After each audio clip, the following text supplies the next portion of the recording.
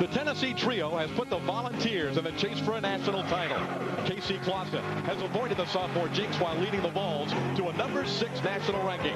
Travis Stephens has put his name among the best running backs ever in Vol history. And Big John Henderson has been slowed by injuries but still a force in the middle. Today, Tennessee heads north to its neighbor in Lexington. Kentucky's Jared Lorenzen is back putting up big numbers as the Wildcats look to spoil Tennessee's run for a title.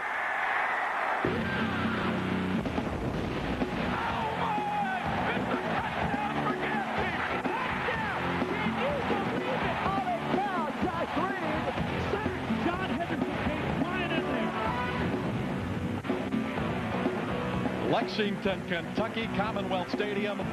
Southeastern Conference football. The sky is blue, the grass is still green, and the temperature is September-like in the Commonwealth.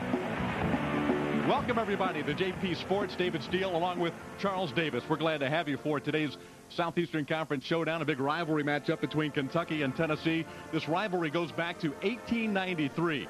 Been some great games through the years. Tennessee has dominated most recently. The Vols have a lot to play for today, Charles. So does Kentucky. Yeah, they really do. The Tennessee Volunteers have, have an opportunity to still play for the Southeastern Conference title, as well as a berth in the BCS and potentially a Rose Bowl shot, a shot national title. For Kentucky, they're not going to go to a bowl, so today is their bowl game, and they really want to put the rivalry back into this game. Well, a big Senior Day celebration prior to the game this afternoon. A lot of emotion on the field for the Kentucky Wildcats. But I tell you, they've got their hands full with a Tennessee team that features one of the premier running backs in all of college football. Yeah, and who would have thought that going into the season? Travis Stephens is a fifth-year senior that many expected to be beaten out this year by a stellar freshman recruiting class, but he never let it happen. Worked hard in the offseason, has put up big numbers, over a 1,000 yards rushing so far. He is now putting his name up with some of the greats in Tennessee history in running the football, and here's why. Shows a burst, some power. He may look like a little guy, but he can go up inside the tackle, and then he can show a little bit of wiggle and has the speed to break it a long way. When you think Tennessee running backs, you may think Reggie Cobb,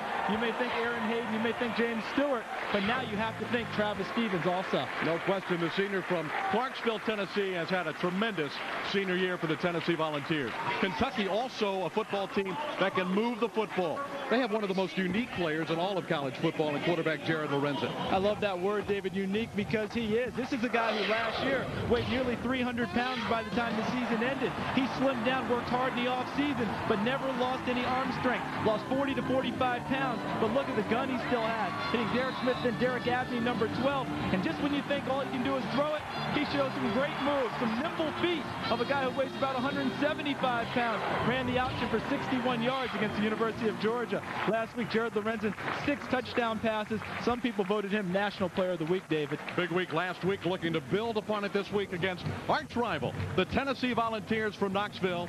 And yes, there will be some defense played today in uh, the Commonwealth also. In fact, the Tennessee Volunteers feature last year's Outland Trophy winner, Big John Henderson, number 98.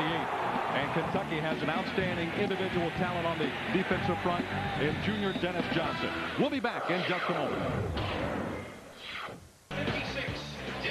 Just a beautiful afternoon in the Commonwealth of Kentucky. It couldn't be more idyllic for college football today. We're not used to this kind of weather in Lexington this late in November. And I know that Dave Baker, uh, who lives right here in Lexington, Kentucky, is as surprised as any of us about the conditions. Dave, how you doing down on the field? David, great. We appreciate you bringing this weather up from the Sunshine State. One thing we're going to be concentrating on this afternoon is what the Kentucky offense is able to do or not do. A big part of that is going to be Andre Lott in the Tennessee secondary. Coordinator John Chavis says that Lott will start if UT opens in a nickel. He's going to play him as the nickel back today. He's been bothered by a strained left hamstring, and he's going to do his best to spot Andre Lott. And you can bet when he's out there on the field, he's going to be doing a little spying on a kid from Kentucky named Derek Abney. He is first in the Southeastern Conference in all-purpose yardage. Chavis said if everybody on the Kentucky team competed like Derek Abney, the Wildcats wouldn't be looking at just one or two wins this season. But Abney's a kid that has to make yardage after the catch if the Cats are to have a chance this afternoon, David. All right, thank you. Dave Baker will be checking with Dave throughout the afternoon on just a, a, fabulous afternoon. Guy Morriss, the head coach at Kentucky in his first year. He took over for Hal Mumme last February and brought in a lot of new coaches. Only a couple of coaches retained off of Mumme's staff. And Phillip Fulmer, certainly one of the most successful coaches in all of college football in terms of winning percentage. He is the number one active coach in college football in his 13th year as head coach at UT. Kentucky won the toss, and the Wildcats will receive the football. Alex Walls will kick it off for the Volunteers. Walls, a junior from Bristol, Virginia. Yeah, just over the state line, David, from Tennessee, about four miles away from receiving in-state tuition as a former walk-on. Ended up having to pay out-of-state tuition initially, but earned a walk-on after a stellar year last year, which granted him All-America status. Yeah, scholarship for this young man was uh, was a big deal. Derek Abney waiting. And Abney grabs it at the 11-yard line. Down he goes at the 24-yard line where Kentucky will have the football. First down and 10. Derek Houston made the stop for the Tennessee Volunteers.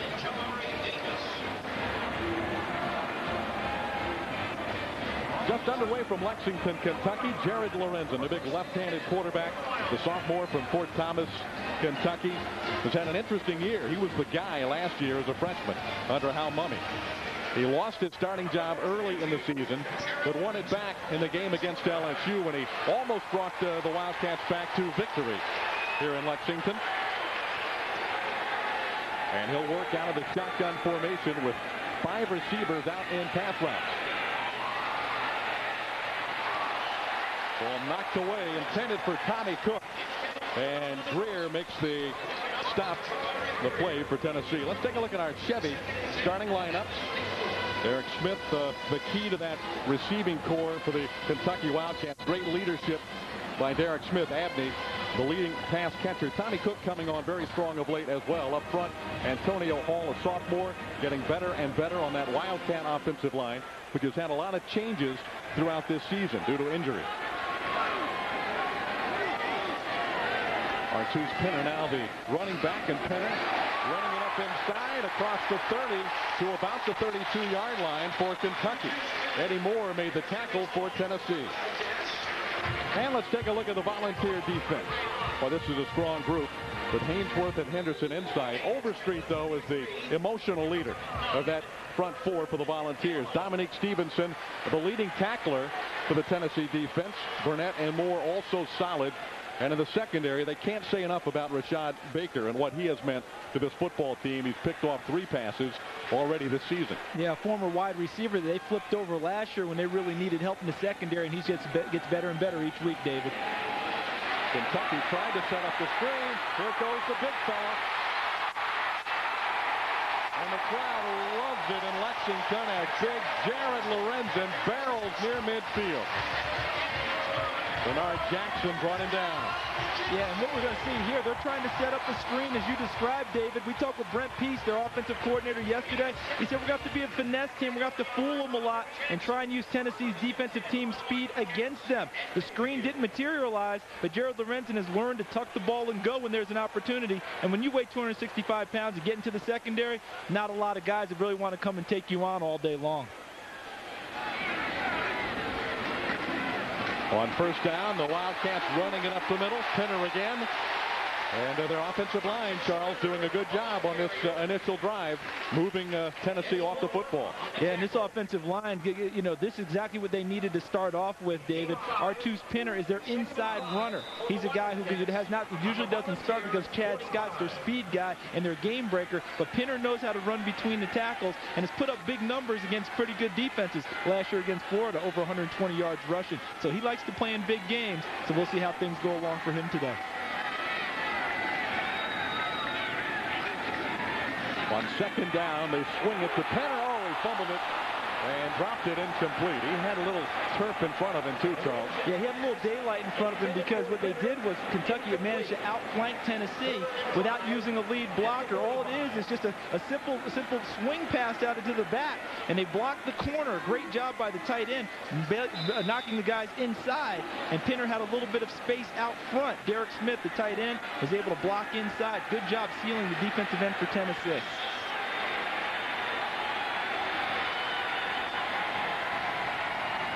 Wildcats 11th in the conference in third down conversions out of 12 plus. And Lorenzen trying to break that streak. Underhanded shovel and the pass is ruled incomplete, so he did get the ball out of his hand before his knee hit the ground. Part of Jared Lorenzen's strength, and his strength knowing how to get rid of the ball, and also just the physical strength he has because he should have been sacked on this play. First guy from Tennessee, Henderson, it uh, looked like Bernard Jackson, Rashad Morris, excuse me, 58 missing. Overstreet clinging on to him. Henderson getting a shot at him, and then finally uh, Lorenzen able to get rid of it underhanded. Remember, you don't have to throw it overhand for it to be a pass downfield. Aesthetics don't count. And the Wildcats go uh, gambling in the first quarter. And why not? This is their bowl game, David. They haven't beaten Tennessee in 16 straight games. No sense holding anything back today. Lorenzen has Smith wide open.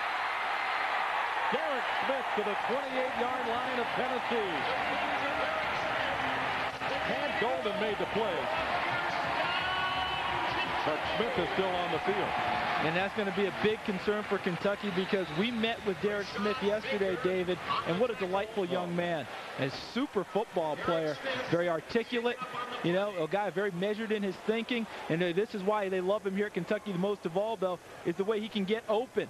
The tackle was on the knee, a clean tackle. You know, those things going to happen. We just hope this young man is not hurt seriously. A fourth down play by Guy Morriss, and then the tackle was made by Rashad Baker, the free safety, taking out Derek Smith.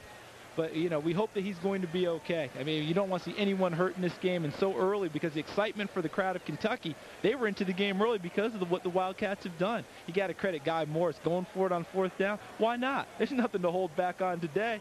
He, he told us on a conference call, and Brent Pease, offense coordinator, said, there's nothing for us to hold back now. Let's let it all hang out. Let's go after it, and let's go after Tennessee. No sense waiting on anyone. This would be a blow, though, Charles, oh, because oh, this huge. young man is uh, emotional. He is leader. the heart and soul of this uh, uh, Kentucky offensive team. And, and, just remember, he's an underclassman. Mm-hmm. You know, he's not a senior, and this is senior day. But their leadership, the best leaders on any football team, come from the guys who make the plays. And Derek Smith has been making plays since he set foot on campus at Kentucky. We only hope, as we said before, that he's okay. Because this is exactly what Kentucky needed for an open. They need to put Tennessee back on their heels and get their attention. You know, when you think about your Tennessee, you've beaten the team 16 straight times. The last five times you've played, you've scored over 50 points. You got to make sure you get Tennessee's attention. Kentucky's done that, and Derek's up and walking off. I hope we can see him back in the game. Well, Derek uh, wouldn't guarantee a victory for Kentucky yesterday in our talk with him, but he did say that he predicted the Volunteers would know they had been in a battle, well, regardless of who wins the ball game after the conclusion of this one. And Smith uh, shaken up early and uh, such an integral part of this Kentucky offense. But uh, he is moving under his own power, so that is a good sign for the Wildcats. Look at this drive. Kentucky has taken the ball just beyond its 20-yard line. And the big fourth down conversion keeps the drive alive. Now there's movement on the offensive line, the front line of Kentucky. I think 71 Parrish. Yeah, Josh Parrish a bit over-eager, and the Wildcats have been nicked uh, by these kinds of plays all year. Five-yard penalty. Repeat first down. You think back at some of their games, Charles, when they had opportunities to win, a play like this has kept them uh, kept out of a lot of positive situations. It has. It's kept them from getting over the top in a number of ball games. When you look at some of the games recently that they've lost, lost by three to Mississippi State, made a bunch of mistakes down the stretch that hurt them. You know, tied with Georgia at 29. They get now near the goal line. Nabney gets separated from the ball. Georgia Georgia recovers, goes down, and scores. They can't make mistakes in a game like this today. So it's first and 15. Lorenzen rifles it. It is caught by Kelly. And the Wildcats have a first down inside the Tennessee 15-yard line. I'm loving this plan that Brent Pease, the offensive coordinator, and Guy Morriss, the head coach, have put together for Kentucky. A lot of misdirection, right, getting Lorenzen out of the pocket a little bit, giving, you know, having him throw from different angles so Tennessee doesn't know where he is at all times. Normally a left-handed quarterback, you don't want to roll into his right because that's a difficult throw. But Jared Lorenzen, for a 265-pounder, has great body control, was able to whip back around and throw a strike to Anthony Kelly for another first down for Kentucky. Yeah, he might only be able to throw it 50 yards. Yeah, that, that, that, cuts him down from, you know, from, from a high of 75. Oh, the shovel pass. Tennessee is all over it. A big hit made by the Volunteers, Kevin Burnett. Almost uh, there to, to intercept the pass, which is tough to do on, a quick shovel like that. Yeah, on the shovel, the old Utah pass. Remember Lee Grosscup throwing the old Utah or the whoopee pass? Great job. Fortunately, it's a forward pass, and when the ball comes out, it's not a fumble. But, you know, Artose Pinner, able did he actually hold on to that, David? He yeah, held he on to it, took a lick. But what I still like about what, what, what Brent Pease is doing is he's showing Tennessee a lot of things, making the defense think instead of just flowing to the ball.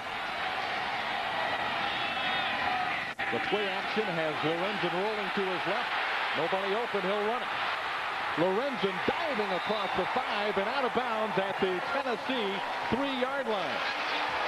And it appeared, David, that Tennessee had made a really good defensive play. Kevin Burnett, who made the big hit on the last play, this time spoils the pass attempt because he had Dougie Allen coming inside underneath. You'll see Dougie Allen to the right of your screen. Right there, Kevin Burnett knocks him off of his route. That's where Jared Lorenzen wanted to go the football, but no one accounted for Lorenzen, and he ran it down inside the three-yard line. Great job by him. You see, you see Andre Lott, number 30, looking for a receiver.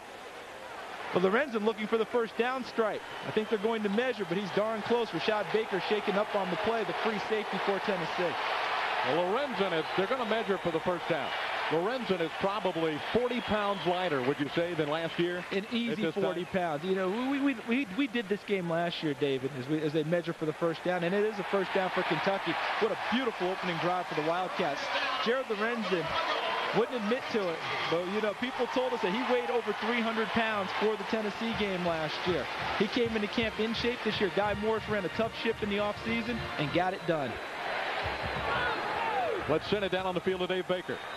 Derek Smith walking back to the Kentucky locker room right now. He's got a hip pointer. They're going to try to rub it down, put a pad on it, get the sting out of it, and get him back in. And this is a situation where Jared Lorenzen likes him the most, two guys that have known each other since grade school.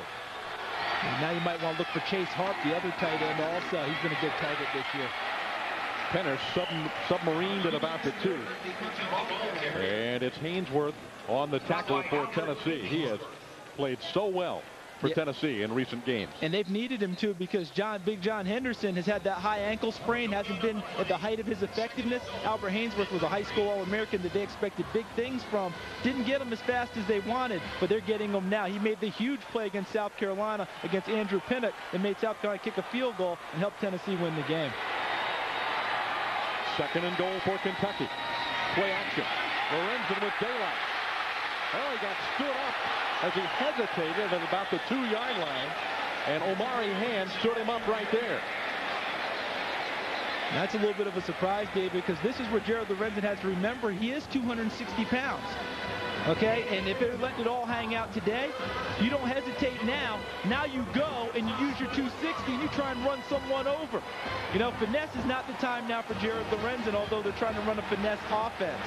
Now you still got to run it. I don't think you run the football as a traditional running play, David. Maybe a fake inside and run it outside, but they should try and throw here. A critical play for Kentucky. Lorenzen throwing. Abney, touchdown. Penalty flag on the play.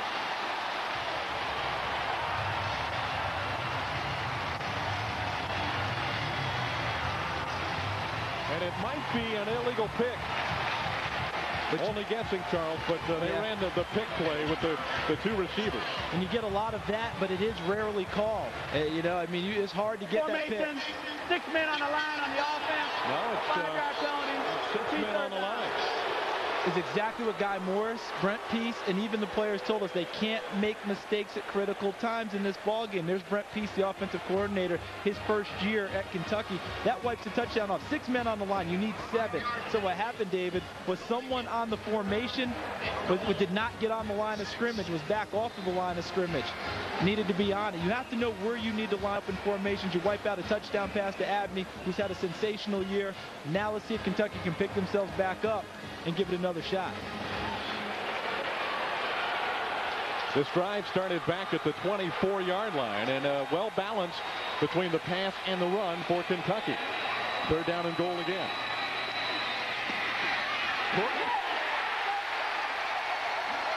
Touchdown Kentucky.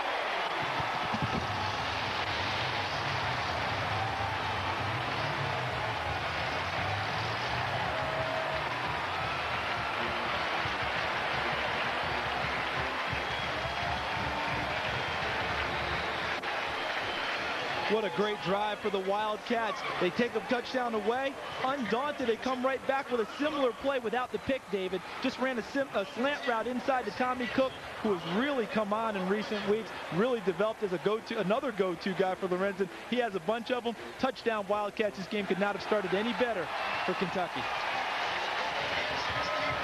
Seth Hansen, the extra point, Kentucky 76 yards on the opening drive. They lead the Volunteers 7 to nothing.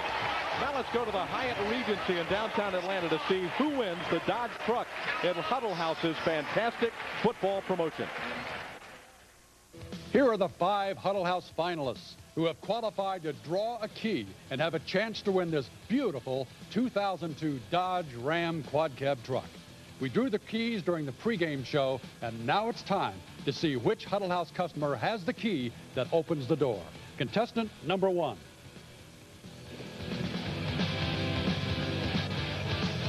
Sorry. Oh, sorry.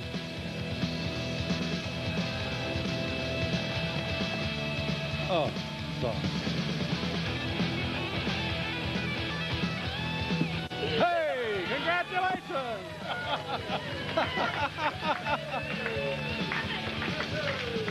Teresa Spillman of Paragould, Arkansas will be coming home soon with her new Dodge Ram truck. Compliments of Huddle House, the Southeastern Dodge Truck Dealers Association, and Jefferson Pilot Sports. We're back in Lexington on a glorious November 17th. And glad to have you with us on Jefferson Pilot Sports. David Steele and Charles Davis, along with Dave Baker on the sideline. And Kentucky has taken the opening kick and marched 76 yards to give the hugely uh, underdog Wildcats uh, a seven-point lead. And what about this, uh, the emotion for the Kentucky Wildcats getting off to such a great start, Charles? Well, it's fantastic for them because they came into the game, you know, they said they believed that they could win, but you have to figure they were hoping that they could win. And now I think they're starting to believe that they can win because Jared Lorenzen is off to a great start, as are his receivers. Great job for Kentucky. They couldn't ask for any more. They five and a half minutes off the clock. And the Volunteers now getting their first offensive opportunity. Stephen Scalaferri will kick the ball off for the Wildcats. And it's Leonard Scott, eight yards in the end zone, and he'll down it.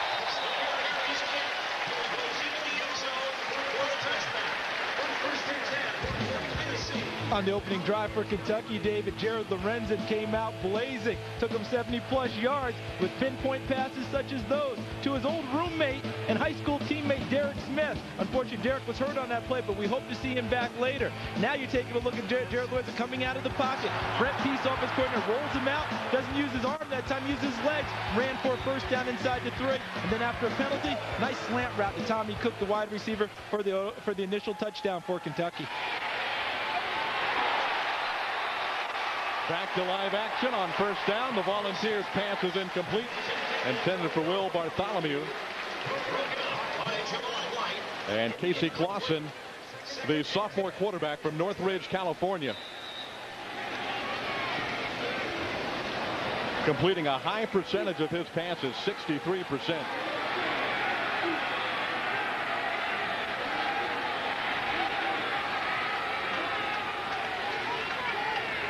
So it's second down for the Volunteers. Fleming the ball carrier and Kentucky knocks him down from behind the line of scrimmage. Wiggins leads the attack. Our Chevy starting lineup for the Volunteers on offense. Stallworth, seven catches, three touchdowns in their win against Memphis last week. And uh, Finlayson and Witten. You'll see a lot of Witten at tight end as well.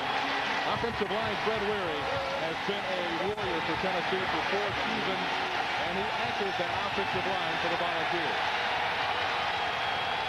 Huge third down, David. Kentucky's emotion could go sky high, and the crowd will really be into it. They can force a three and out here on the Volunteers. Clausen dropping. And the pass caught by Graham. At the 27-yard line, it'll be about three yards short of a first down. Derek Tatum made the stop for the Wildcats. And we have an injured player. A Kentucky player. We get another look Casey Clausen in the pocket plenty of time to throw the ball delivers it to Bobby Graham, but good tackling by the Kentucky secondary, number 21, Derek Tatum, one-on-one. These are the toughest tackles you make in the secondary, and one thing we talked about with John Goodner, the defense coordinator from Kentucky, and he told us how important it was for them to make tackles, not miss them in this ball game. The injured player is Dwayne Robertson, sophomore from Memphis. And uh, this is a very important part of Kentucky's front line. John Goodner, the defensive coordinator, would have to be concerned with uh, the sight of number 63 down on the field. And he did not play against LSU in Georgia because of uh, a knee injury. So you hope uh, that uh, this is not a serious injury for Dwayne Robertson. Let's take a look at that Kentucky Wildcat defense. You see Robertson, uh, one tackle, Derek Johnson the other on the outside. Dennis Johnson a big play man and so is Chris Demery the senior. The linebackers uh, this young guy uh, undersized uh, in the Southeastern Conference but just a gutty gritty little fella number 33 Chris Gayton. He leads the Wildcat defense in tackles and a safety Anthony Wajda second on the team in tackles. Jeremy Bowie Leonard uh, Burris actually is out for today's game and has been replaced by junior Derek Tatum in that Wildcat secondary.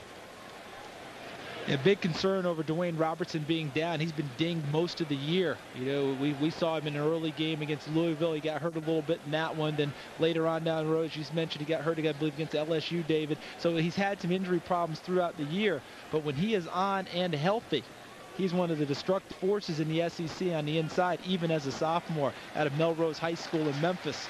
I know the volunteer fans are saying, how'd this guy get out of state? Well, he's come to Kentucky and played awfully well. See if he's able to make it back today, too. To make matters worse for Kentucky, if uh, Robertson can't go, they lost Ellery Moore, a, a true freshman who was really coming on strong, to a torn ACL. And now Robertson, uh, they further deplete their defensive front line. But Robertson moving uh, under his own power for the most part. Perhaps he'll be all right. Let's go back down to the field and Dave Baker. David, extremely hard-hitting game so far over on the Tennessee sidelines. Rashad Baker rolled his left ankle on that last series. That's going to put more pressure on Andre Lott, who's nursing the bad hamstring. Over on the sideline, he's stretching that hamstring. And Charles, as you know, that's not a good sign on a hot day like this if you can't get an injury like that loosened up. Yeah, that's when you know things are things are pretty bad for you because it's a perfect day. You shouldn't have any problem getting loose, as Dave said. Derek Abney is the deep man. Great punch by Dustin Colquitt. Abney dangerous. Number two in the SEC almost broke it free. Tennessee trips him up at the 37-yard line. Mark Jones made the tackle. Dave Baker said it's a, it's a hot day, but those of us from the Sunshine State are feeling pretty good right now. Kentucky leading it early.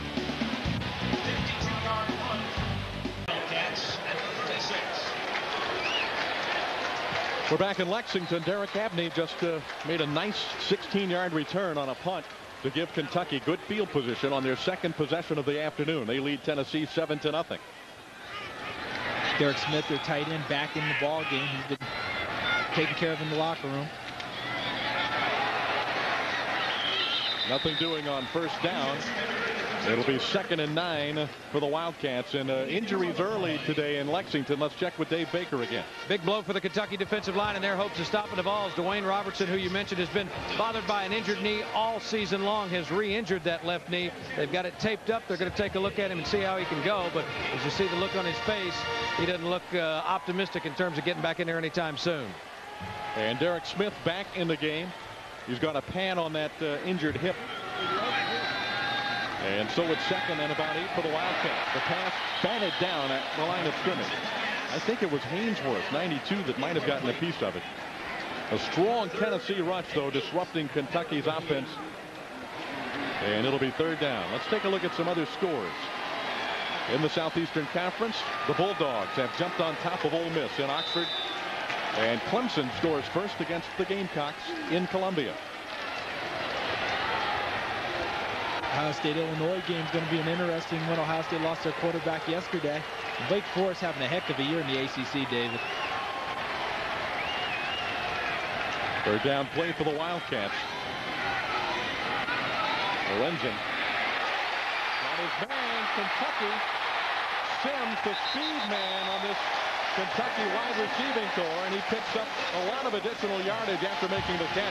The Wildcats convert again on third down, Charles. And an excellent route run by Ernest Sims, number three. He ran a route that looked like it was going to be a curl. He ran it on Jabari Greer, number 33, a guy that the Tennessee coaches couldn't say enough good things about the other day on the phone. But he ran inside, and then he spun to the outside. Jabari Greer lost his footing, and Ernest Sims was wide open on the play. And Jared Lorenzen, he may be huge, Dave, but he's got great touch on the ball when he delivers a perfect strike to Ernest Sims for another first down for the Wildcats. Rashad Baker has returned to the Volunteers secondary. On first down, Lorenzen connects to Scott. And uh, Lorenzen is very accurate in this first quarter, throwing the ball for Kentucky. Another one right on the numbers to another receiver. Jared told us yesterday and he really feels like his ability to spread the ball around to a number of different individuals has lifted the morale of this offensive football team. And it's also a part of his maturation as a quarterback and a person. Last year, his big target was Derek Smith, his high school teammate. That's where he wanted to throw the ball each and every time. Beautiful, you know, pass-run ratio for Jared Lorenzen today. But this year, developing confidence in all of his receivers, and this paying off for them. Little pump fake. He's got Sims on the corner. Well covered, though. Ernest Sims. Lawton was with him step for step. And that was another option on that offense. He wanted to come inside with a screen to the wide receiver. Coming inside on what they call those smash screens or bubble screens, uh, whatever you want to call it. a wide receiver screen coming back to the inside. Tennessee covered it, so he went to the next option up top trying to hit Sims on a fly route.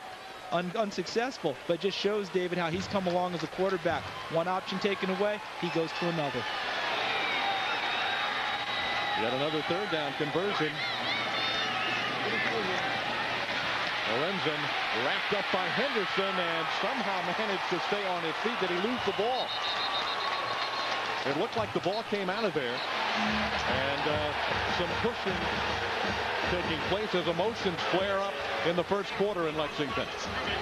But a good job of officiating by not throwing a flag, just breaking it up. You see Henderson, number 98, collapse the pocket. Now he's got a big grasp. Now Lorenzen wanted to throw the football again as he did earlier when he was wrapped up. He has to be careful about when he does it. Because John Henderson grabbing you is a little bit different than a linebacker grabbing you with all that weight close to it being a, a, fumble. Rashad Moore battling for the ball with Lorenzen. And the officials could have called a penalty in there for a little extracurricular, but they didn't. Just doesn't. They know it's an emotional game today because it's a rivalry game.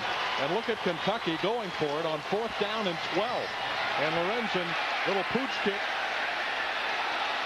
And the big fella had a little bit too much toe on it. And it's not just his fault. His receivers know it's a pooch kick. They've got to get downfield and kill that ball inside the 10-yard line. Not a bad-looking kick by the big fella. Tennessee takes the football.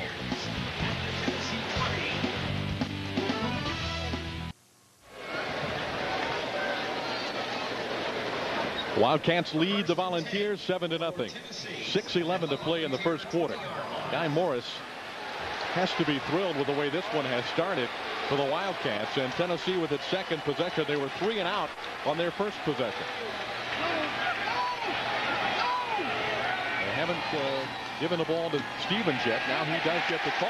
Kentucky is just dominating the line of scrimmage early in this football game pretty much on both sides of the football.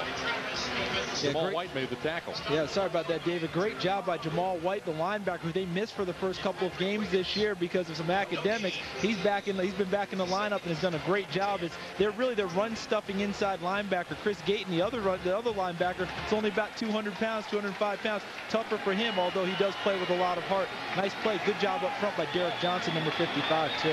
And number 68, Jeremy Caudle is in the line uh, for Kentucky, replacing the injured Dewayne Robertson.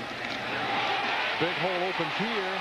Stephens stumbling across the 20 and to the 25-yard line. Someone got him around the ankles, and uh, it might have been Chris Gayton. Cumbie maybe back there also. Yeah, Quentus Cumbie, one of their outside safeties, he's coming into the play. It, you know, Travis Stephens made more out of this play than he should have, David, because I thought right there he was going to go down. Kept his balance, stumbled along. Cumbie made the final tackle. I guess it was Gayton back in the backfield who put the, put the ankle move on him. Third down play for the ball. Look out on the corner, number 14, Mike Williams, a freshman corner in the game now for Kentucky. Watson trying to pick up the first down, and it will be very close. Boy, Kentucky is one fired up football team in this first quarter. Well, fans, jpsports.com has the coverage you want. No one knows the Southeastern Conference like JP Sports, and we bring you the information to you online. Tune in each week for previews of upcoming games, broadcast information, many other exciting features. For the inside scoop, log on to jpsports.com. Nice ovation for the Kentucky defense and well-deserved. Two straight stops of Tennessee without points. The ball goes back to Abney, their very dangerous punt returner. This time a high spiral by Colquitt. A young man with uh, big-time bloodlines in the Tennessee football program. Derek Abney, a fair catch at the 25-yard line.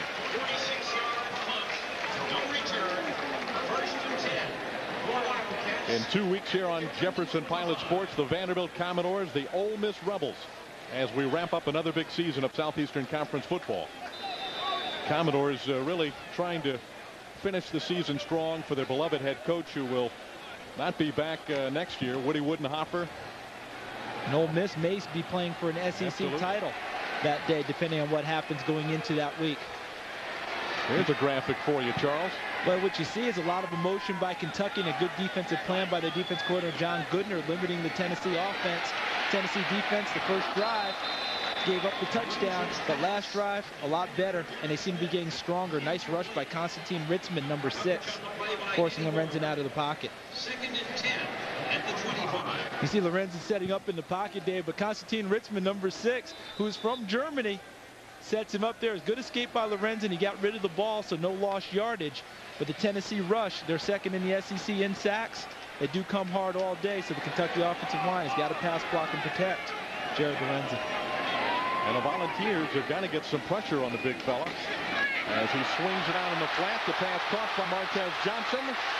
Johnson scrambling across the 35 and is finally knocked out of bounds at the 41-yard line.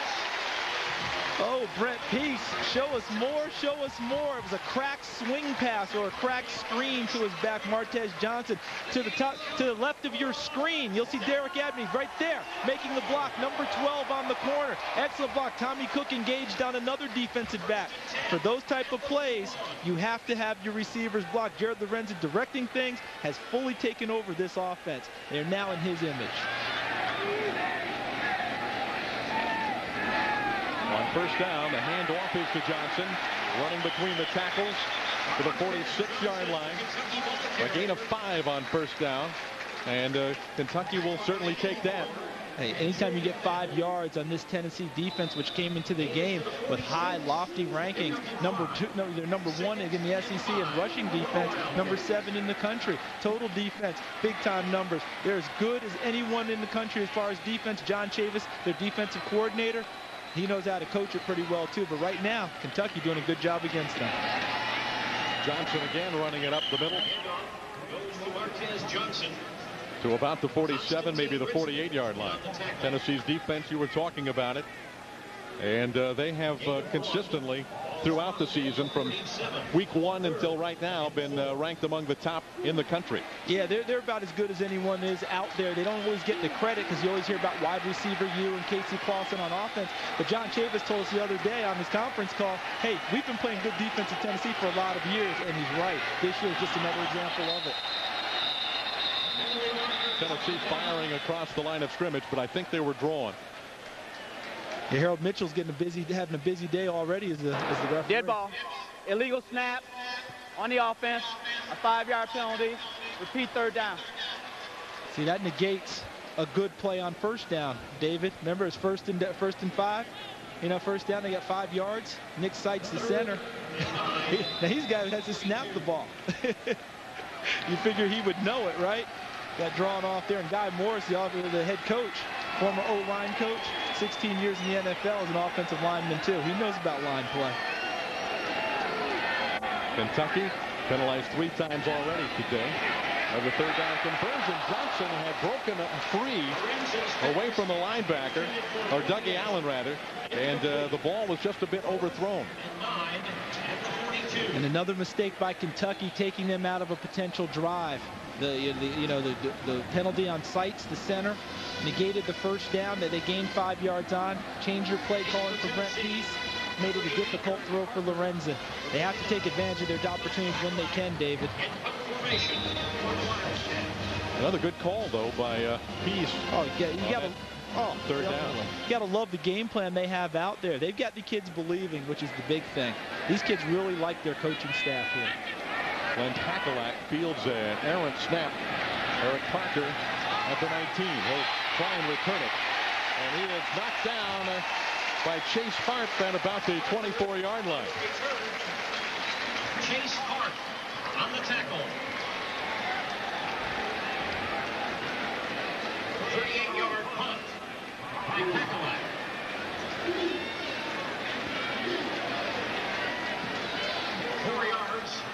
Well, when you're on the road to watch Southeastern Conference football this season, plan on eating at Huddle House where you can order their big house breakfast and lunch platters anytime, 24 hours a day. Like that 24-hour a day stuff. Looks like Tennessee got a freeze play in. Got Kentucky to dr be drawn off offsides.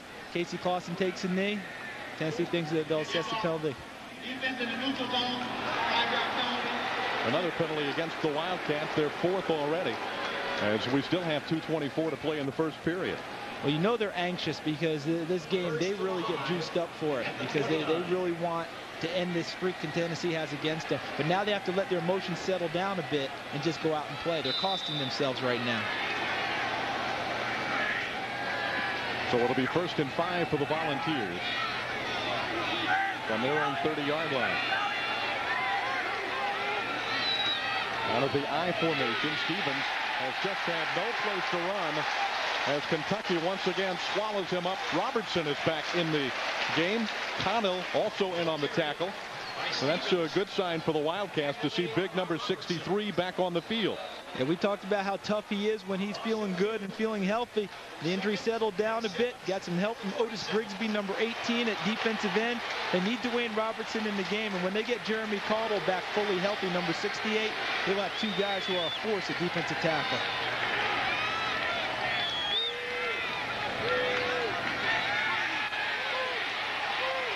Penalty flag is dropped on the Volunteers.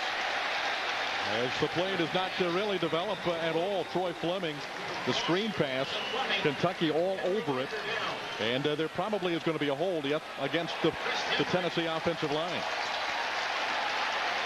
You know, we expected to see screens and draws and traps from Kentucky trying to use Tennessee's speed against them. Tennessee trying to use, give Kentucky a taste of their own medicine. Unfortunately, did not execute very well and got a penalty to boot.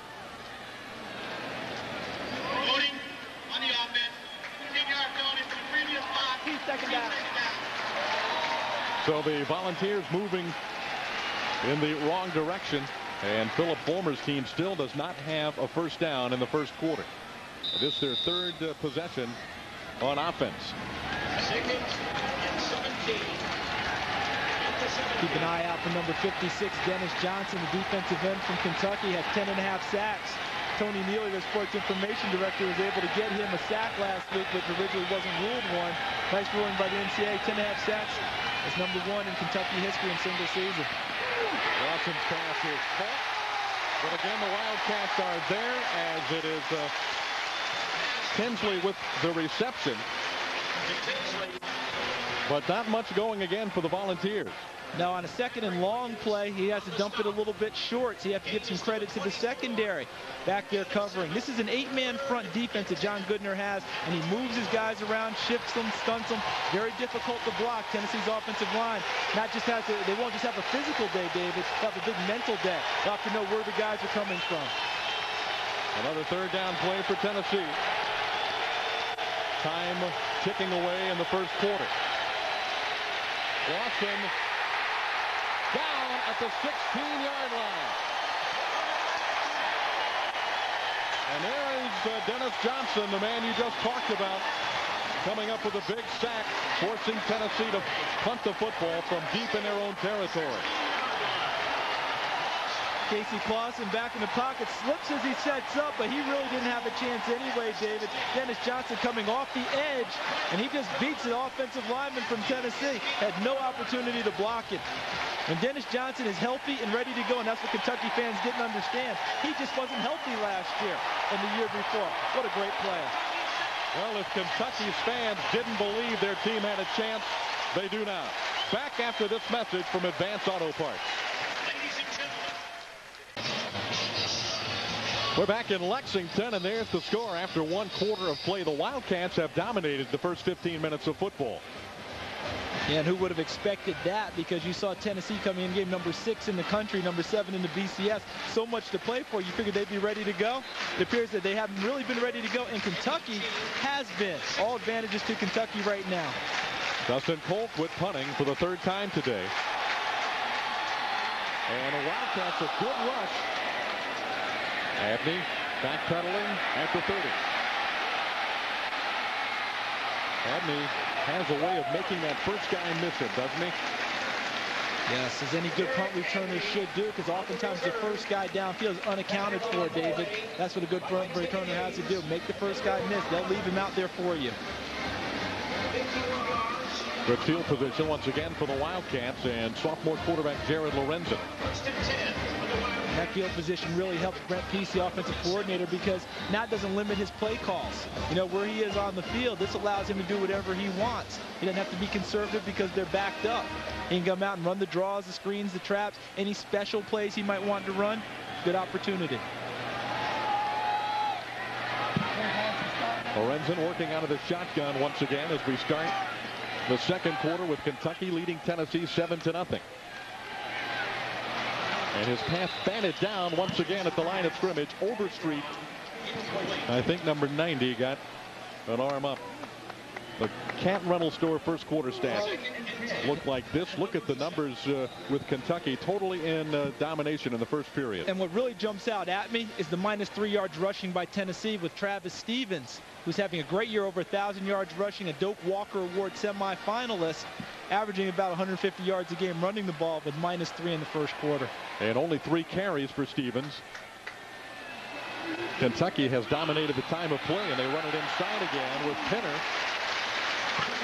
and once again, the offensive line of Kentucky is giving the Wildcat running backs a good deal of running room. Yeah, they're giving Tennessee fits. Look to the left side here. You see, you see right in the middle. Great job blocked by Keith Chatelain, number 65, who was a former starter who's been hurt, David, back into the lineup now playing here on this beautiful day. And he gives them a nice hole up front. You know, you also take a look also up front. When you take a look at uh, Jacobs, great job by them getting the job done. Wildcats set up five wide receivers on third and four. And the screen to Kelly. Gets Kentucky another first down. And at about the, the midfield stripe, another big third down conversion for the Wildcats. And they're doing a great job with the screen pass inside to the wide receiver. See the top of the screen? You get a nice job with a block by number 88, Dougie Allen, one of the three wide receivers set to the formation. when you come out and stalk block on the outside guys of Tennessee and then allow the receiver inside to catch the ball unimpeded and see the field and run, Kevin Burnett ended up, made, ended up making the tackle. That's what Kentucky's doing. Their wide receivers block for each other. That allows them to be effective. Timeout taken by Jared Lorenzen as the play clock was taking down. We'll take a break as well. The Wildcats on the march, leading Tennessee 7 to nothing.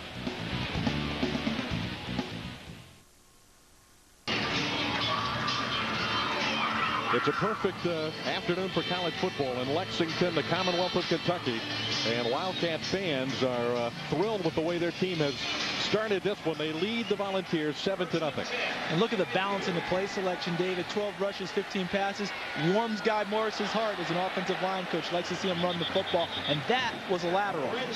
Okay, so if that ball gets away from Artose Pinner on this play, Tennessee has an opportunity to pick it up and carry it in or recover it. It was definitely a lateral because that ball was, you know, a lot of times they'll call it a swing pass and give the quarterback credit.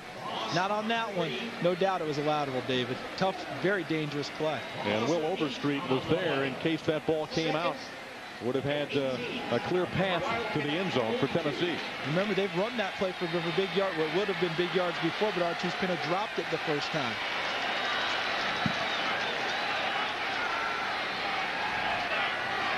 Second down for Kentucky. Lorenzen finds Pinner out of his backfield. He breaks a tackle. Boy, he's a hard man to get down finally at the 39-yard line. And right now, uh, Charles Davis, Kentucky, is just outplaying the Tennessee Volunteers.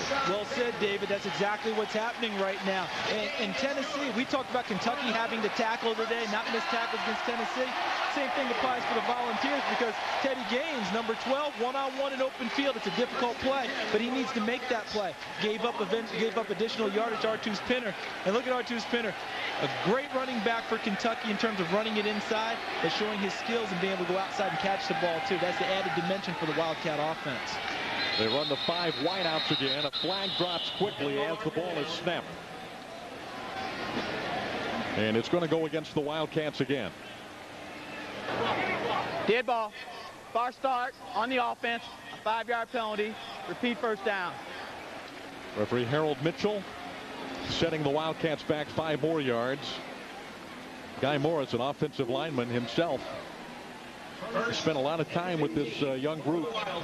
He's very much a technician, a teacher, very solid uh, classroom kind of guy not real emotional, although you see him showing a little bit of emotion right there. Yeah, he's always under control with his emotions. When he gets fired up, he's the kind of guy, you know, those quiet, silent guys, when they do get fired up, that's when you really have to be scared because he's really bubbled over. He's done an excellent job coaching this team this year.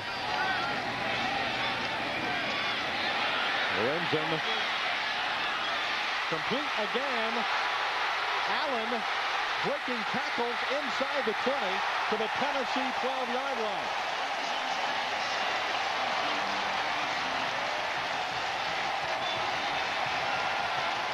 The tackle was finally made by Bernard Jackson, but Allen made three or four Tennessee defenders miss it. And Bernard Jackson is a defensive lineman who had to pursue all the way downfield to make the play. The play was made by Jared Lorenzen's ability to move around and throw on the run. Do it through another strike. And Dougie Allen made one guy miss. There's another one before Bernard Jackson finally makes the play. Great pursuit by him, but he shouldn't have to make plays that far downfield.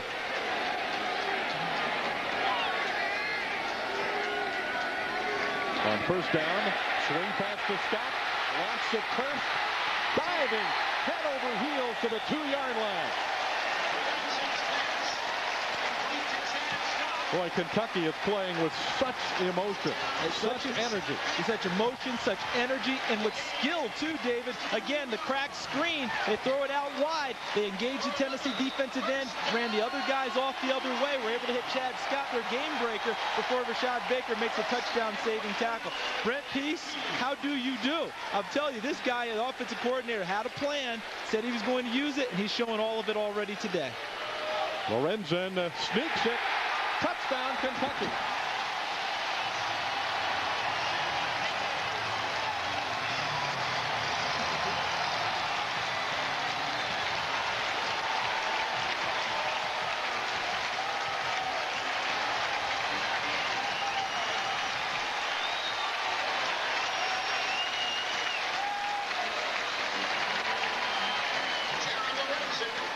Big fella sneaking it in. We talked earlier about him just using his size and his size and strength to go ahead and run over someone.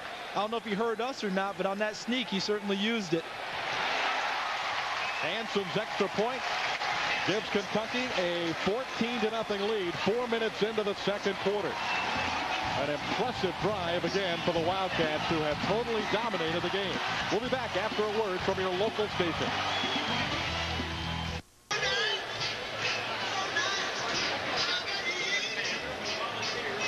There's the score in the second quarter from the Commonwealth of Kentucky. The Wildcats in their final home game of the season. Playing with tremendous emotion. Have jumped on Tennessee. That last drive, nine plays, 63 yards. They had a 76-yard drive, 13 plays in the first quarter, and have controlled this football game to this point. Stevens Scalaferri will kick off, and it's Leonard Scott standing deep for the Volunteers. Scott from the three. He's got an alley. And for the first time today, Tennessee will have excellent field position as uh, Clausen brings them out. Leonard Scott, one of the fastest guys in the SEC, if not the fastest, a sprint champion, part of the NCAA Outdoor Championship track team of Tennessee. Hasn't really broken loose this year. His longest return for the season has been 30 yards up until that point, but he found a gap and brought it back for Tennessee to give him great field position. A 48-yard return.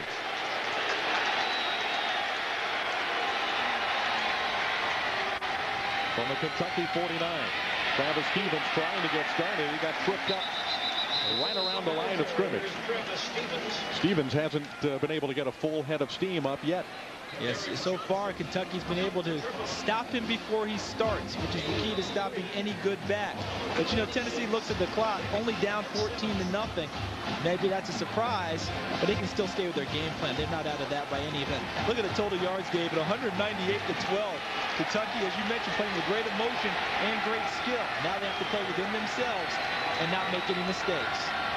And Tennessee needs to get a first down. That would be for starters. Stephens about a yard short of it at the 41-yard line. They are still looking for their first first down of the game. Chris Demery made the tackle for the Wildcats. Well, at halftime, we'll be taking a look at the Alltel halftime stats. 9.52 to play in the second quarter. And a third down play coming up for the Volunteers. Yeah, third and short. And you know that Tennessee right now, down 14, wants to get back to basics and run the ball. If you're John Goodner, you load up the line of scrimmage and, you know, enforce them. Just dare them to throw the ball. Because I'm fairly sure that Travis Stephens is going to come barreling at them right now.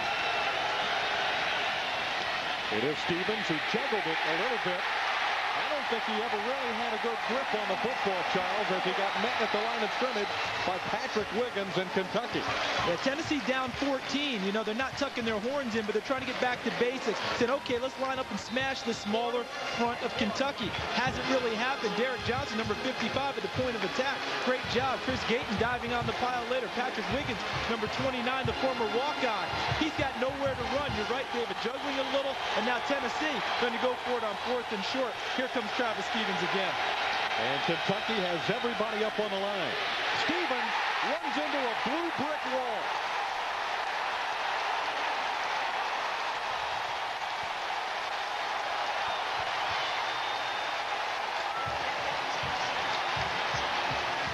And you can just tip your hat to the entire front line of Kentucky. They collapsed in there, and Stephens had nowhere to go. And this was a huge gamble by Tennessee. Why? Because of the emotion. The up front guys, Dewayne Robertson knifing in number 63, Anthony Wadja number 24. Now you see the emotion from Kentucky because, again, did they really believe they could do this today? They hoped.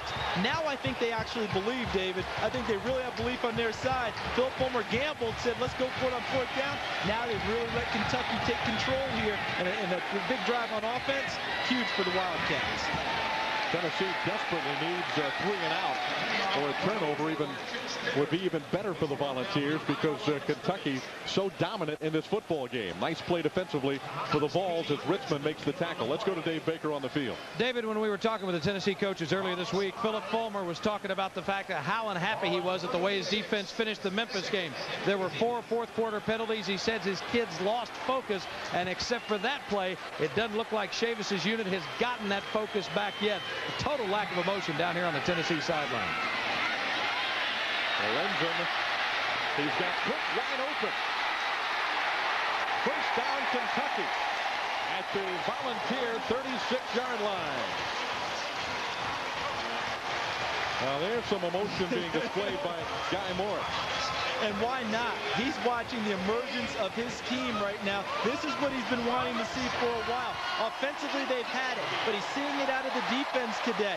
Great job by Lorenzen because he has run the ball a few times today. You kind of honor that as a defense. Maybe you pull off of a receiver in coverage. Then he finds Tommy Cook. Great job by Jared Lorenzen showing poise in and out of the pocket.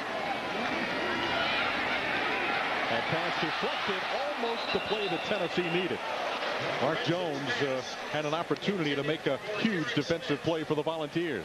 And that's the third tipped or batted ball by Tennessee today. Two up front with the defensive lineman. And then this one, actually the third one, Rashad Moore, number 58, tipped it. Almost a tip drill for the defensive back. Unable to come up with it. That was number 10, Mark Jones. It's an interception that he, you know, a chance that he wishes he had back.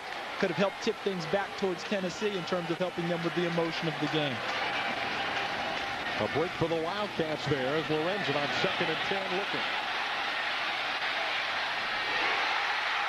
Abney inside the Tennessee 10-yard line.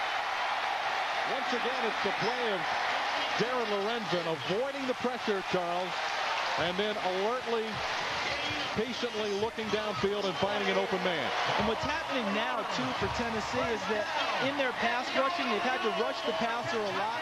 The Kentucky line has done a good job up front. And then when Lorenzen moves around and buys more time, what you're doing is tiring out the Tennessee defensive front. You know, each time you gear up for a pass rush, David, that's explosive energy you're using.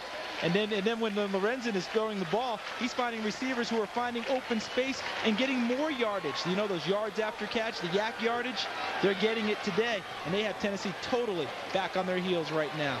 You said it in a, in a, break when we were talking, David. Not sure Tennessee has the emotion they need today. Hard to start the motor, you know, hard to mash the gas if you never started the motor. Uh -huh. We're not sure Tennessee started the motor yet today. Well, they better uh, get it going somehow because uh, Kentucky is just about to go in three touchdowns up on them in the second quarter. The ball is at the nine-yard line. Lorenzen under center. And he goes at the seven as Overstreet converging on him. And it'll be second and goal for the Wildcats as the clock ticks in the second period. 6.50 to play.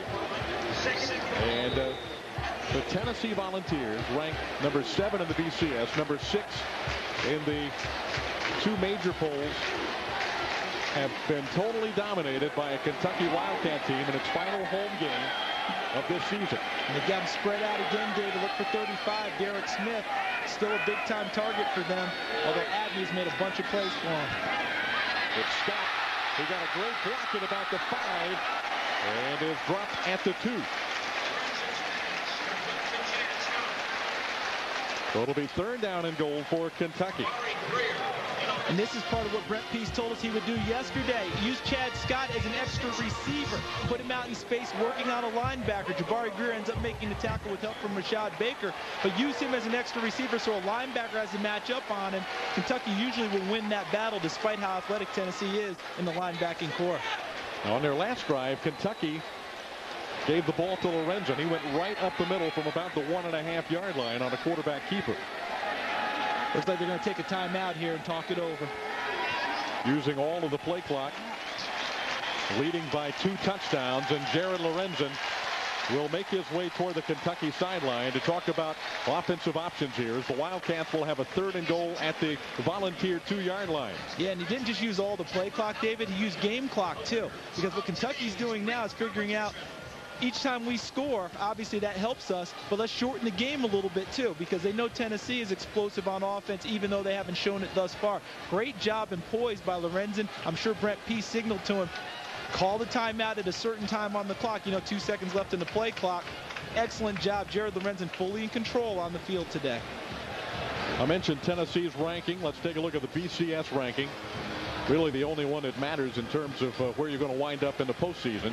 Tennessee still hanging in there, trying to get a BS, BCS berth. Number seven, Florida's number five. Uh, big game tonight for the Florida Gators in Gainesville against the Florida State Seminoles, who have dropped out of the top 15, and that doesn't help Florida in that situation because uh, strength of schedule is a major factor when determining that BCS ranking. Yeah, and you know, Florida right now looking at some teams ahead of them who have some tough games coming up, hoping that someone will lose ahead of them. Other scores, Georgia, Ole Miss a tight one, Clemson, South Carolina likewise. Ohio State without its starting quarterback struggling against Illinois. Georgia Tech and Wake Forest having a wild one in the first quarter. It's third and goal for Kentucky. Lorenzen rolling out, looking. Touchdown.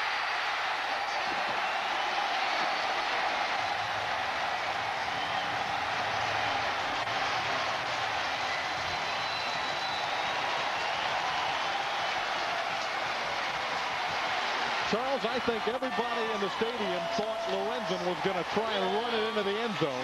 Yeah. And Chase Harp popped free. and Lorenzen found him. Yeah, it looked like a naked boot, you know, naked bootleg. But what they did was they went with two tight ends on the play, took Derek Smith in as a blocker, and brought Chase Harp across the formation, what they call running through the wash. He kind of got through where the, where the traffic was because of the misdirection. That allowed him to be open in the back of the end zone. Another extra point. And Hanson gives the Wildcats a 21 to nothing lead. Harp's second touchdown catch of the season. It's 21 to nothing, but the team that you would least expect to be on top is there. Well, Wildcat fans celebrating in the second quarter. Look at the score. Sixth ranked uh, Tennessee trailing unranked Kentucky. The Wildcats two and seven coming into the game.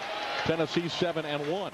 But it has been a total reversal as Kentucky has been the team to dominate.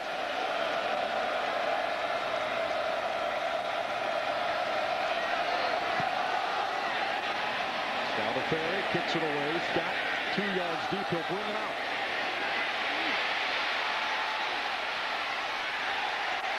The 29-yard line, Tennessee will take the football. We end our season in two weeks in Oxford on December 1st as Vanderbilt takes on Ole Miss. The Rebels looking for their fifth straight bowl appearance as well as still having a chance to win the Southeastern Conference West. The Vanderbilt Commodores looking to send their head coach Woody Widenhofer out in style. Widenhofer announced his resignation a few weeks ago, effective after the Ole Miss game. So join us in two weeks at 12:30 Eastern, 11:30 Central. Check local listing in your area. Jefferson Pilot Sports.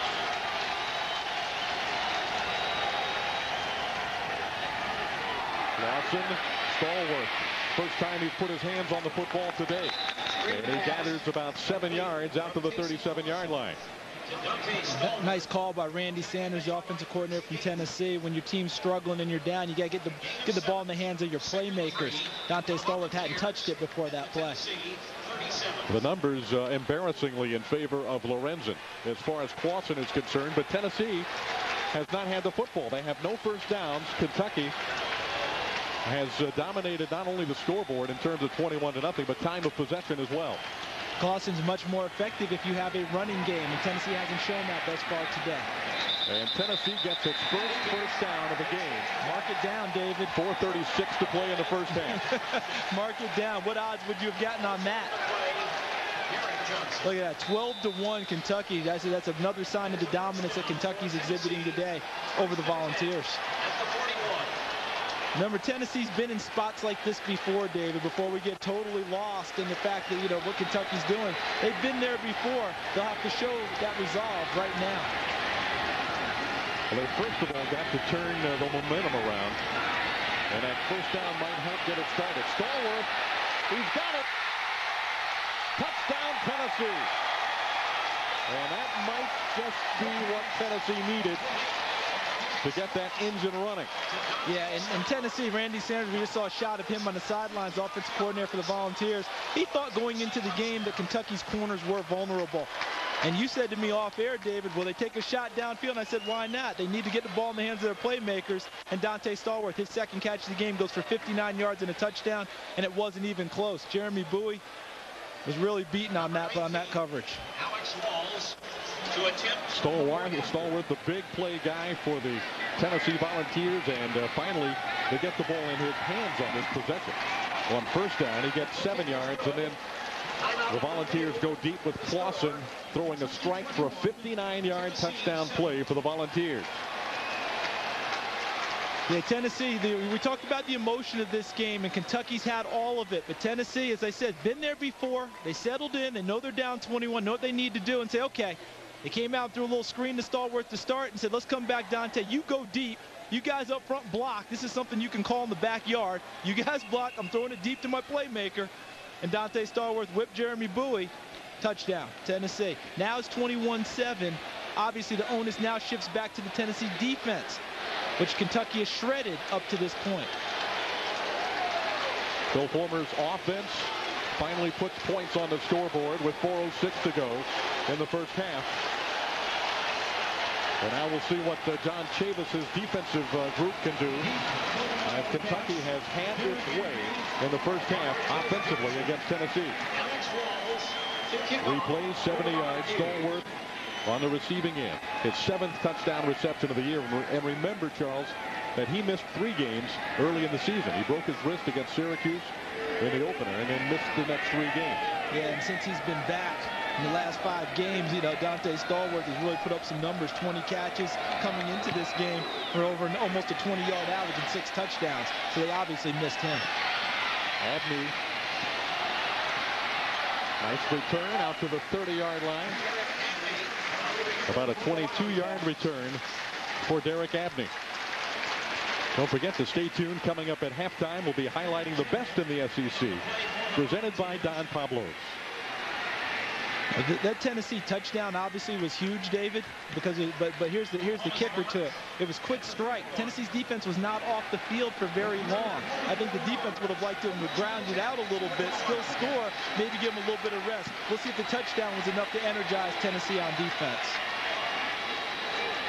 Well, they've got playmakers all across uh, that defensive front line and in the secondary as well for Tennessee. And what Kentucky's done so far is spread out those playmakers, made them have to make plays in space, which are your hardest plays to make. One-on-one -on -one tackles in open field, very difficult to do. Nice offensive game plan again by Brent Pease. They got the pressure on Lorenzen. He finds Pinner. Darting to the outside. Artose Pinner to midfield. There's a flag down as Pinner is racing to the end zone.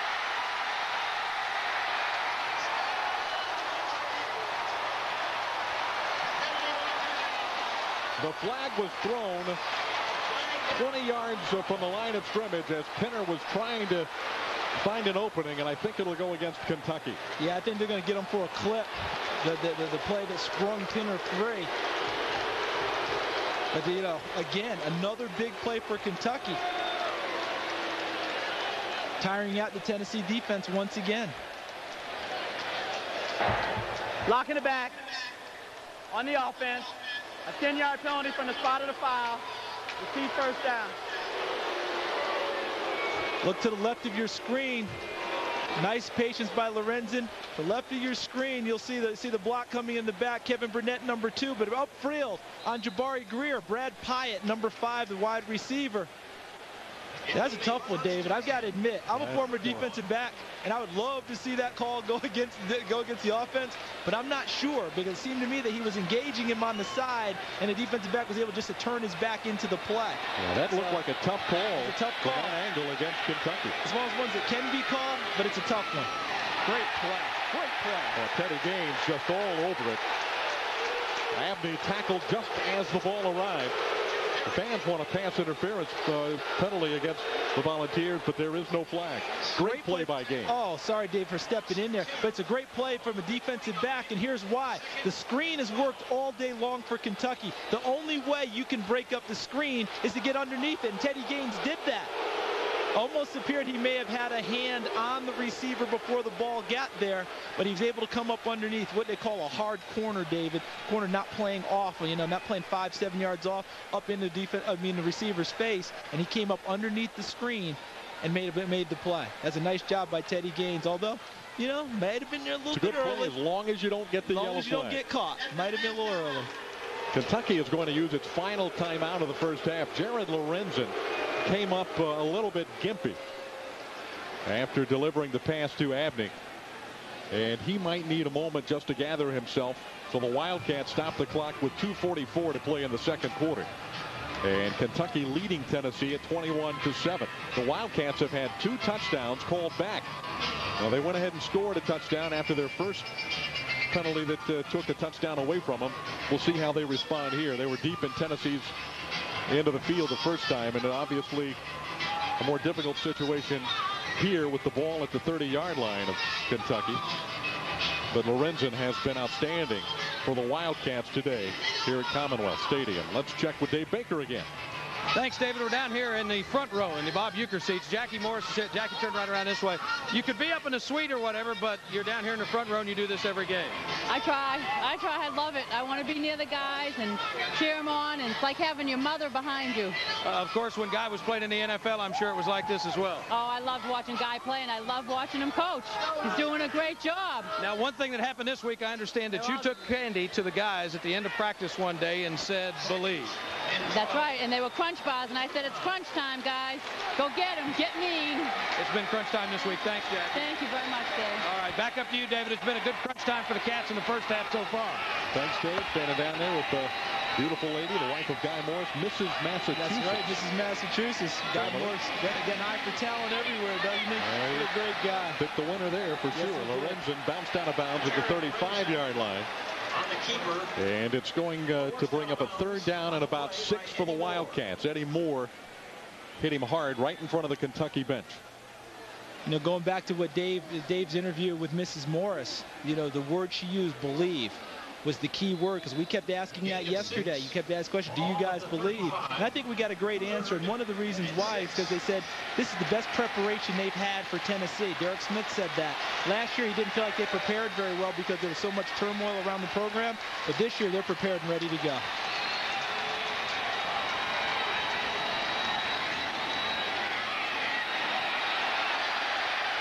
Lorenzen drawing a crowd, and he'll be three yards short of a first down at the 37-yard line. Nobody open. Good job by Tennessee's secondary. Albert Haynesworth finally closed the deal. And Tennessee will use a timeout, their first used timeout of the first half. So they're saving them up for a potential late second quarter offensive rally. Trailing Kentucky by two touchdowns. One thing that Tennessee has not been able to do so far is force uh, Kentucky into making a mistake. No, they have not been able to do that. John Chavis has stopped troops. We saw Coach Chavis up in the box. But now this is about the best possession they've had on defense during this ball game. Well, the Tennessee Volunteers have certainly owned the month of November for the last 16 seasons. Their only losses in November in 16 years. Number one, Notre Dame came to Knoxville in 1990. Rocket Ismail ran 44 yards for a touchdown in the fourth quarter. The Irish went on to win 34-29. Didn't lose again until November of 96. Memphis scored on a three-yard pass late in the fourth. The Tigers won against the Vols 21 to 17. And then two years ago, Arkansas scored a late touchdown, held off the Tennessee drive that ended with an incomplete pass into the end zone. Razorbacks dropped the then third-ranked Volunteers 28-24. And uh, they're few and far between those losses for the Volunteers in November. A great punt by Pakulak. Parker fair catches the ball at the 10-yard line. There is a penalty flag back near the line of scrimmage. Did Pakulak get uh, run into? Nope, it's going to be a defensive holding against Tennessee. Now, whether it's a post, you know, post kick foul or not, to tell you about how this goes. Does that mean Kentucky gets it back on offense, or does Tennessee just get penalized on defense after the ball was kicked? Either way, it's not a good thing for Philip Fulmer's club because already they're at the 10. Half the distance would put them at about the five-yard line. Or it will be a Kentucky first down. Let's see. Holding on the defense. Three yards within the line of scrimmage. It's the first down. First down, so they go on offense, they're able to keep it. Normally, that type of a foul is assessed against your defensive team, which now becomes your offensive team, and they're, they're penalized. But Kentucky keeps the football, the last thing Tennessee needed to have happen, and this is huge for the Kentucky Wildcats. Those losses that were mentioned in November, you know, you remember that? The three losses? I noticed two of the teams wore blue. One of them wore all blue, Memphis. What's Kentucky wearing today? Could that be a good omen for the Wildcats? Maybe a reach, but they like it right now. Well, a blue sky, blue uh, uniforms for the Wildcats. It's been a winning combination so far at Commonwealth Stadium. Tennessee had used a timeout to give their offense uh, ample time to try and make something happen. But now they're up back on defense again as Haynesworth and Overstreet collapse on uh, big Jared Lorenzen and drop him for a loss back to the 42-yard line. Yeah, Big Bernard Jackson worked his way back there too. They just totally collapsed the Kentucky front, and they were on Lorenzen really before he had a chance to get set. They flushed him early. See two guys there, the two guys you mentioned before, and now and now Jackson comes over the top. Now if you're Kentucky, you might want to think about not making a huge mistake here and giving Tennessee an opportunity in your own secondary and your own side of the field. Looks like they take one more shot at it on offense and see if it works. Haynesworth came busting through the middle. And a big hit on. Dougie Allen. And not much uh, doing there for the Kentucky Wildcats. Yeah, Buck Fitzgerald, number 36, a backup defensive back who plays very well on special teams, always plays with a lot of emotion. He played for his father at Pearl-Cohn High School in Nashville, and Big John Henderson played for his dad there as well. So Buck Fitzgerald doing his little John Henderson invitation with that big hit on the pass there. They haven't called John Henderson's name very often today. Have a few plays early, but mm-hmm. later on it's been a lot of Haynesworth and Overstreet. Inside of a minute to go in the first half is Lorenzen trying to get as much real estate as he can. Crosses midfield. Dropped at the 47-yard line by John Henderson. It looked like a designed quarterback draw to keep Kentucky out of making a mistake here. Let, him, let, let get as much as he can on the play and put themselves in a position to do something. Maybe punt the ball and put Tennessee deep, uh, deep in their territory before they try their last drive. Tennessee has an injured player on the field. And we're still trying to pick up a number. There's a couple guys down, David. I see a blue jersey still down also in that pile. Mm -hmm. Yeah, that's Jared Lorenzen at the bottom of the pile. That's not good news for Kentucky fans. They need him to get up and run off the field. Uh, he's okay, and John Henderson is the other. Dave Baker uh, on the sideline had a good look at what happened. Dave, what have you got? Two very big guys involved in a really, really big time collision. And the reason Lorenzen was down, even as big as he is, he couldn't get Henderson off the top of him. But they both look like they're okay now. hey, hey, hey, Dave, those yeah. are two guys you don't want to play the game of dog pile with, aren't no, they? you, you would not want to be on the bottom there. Lorenzen, uh, they clock him in at about 280.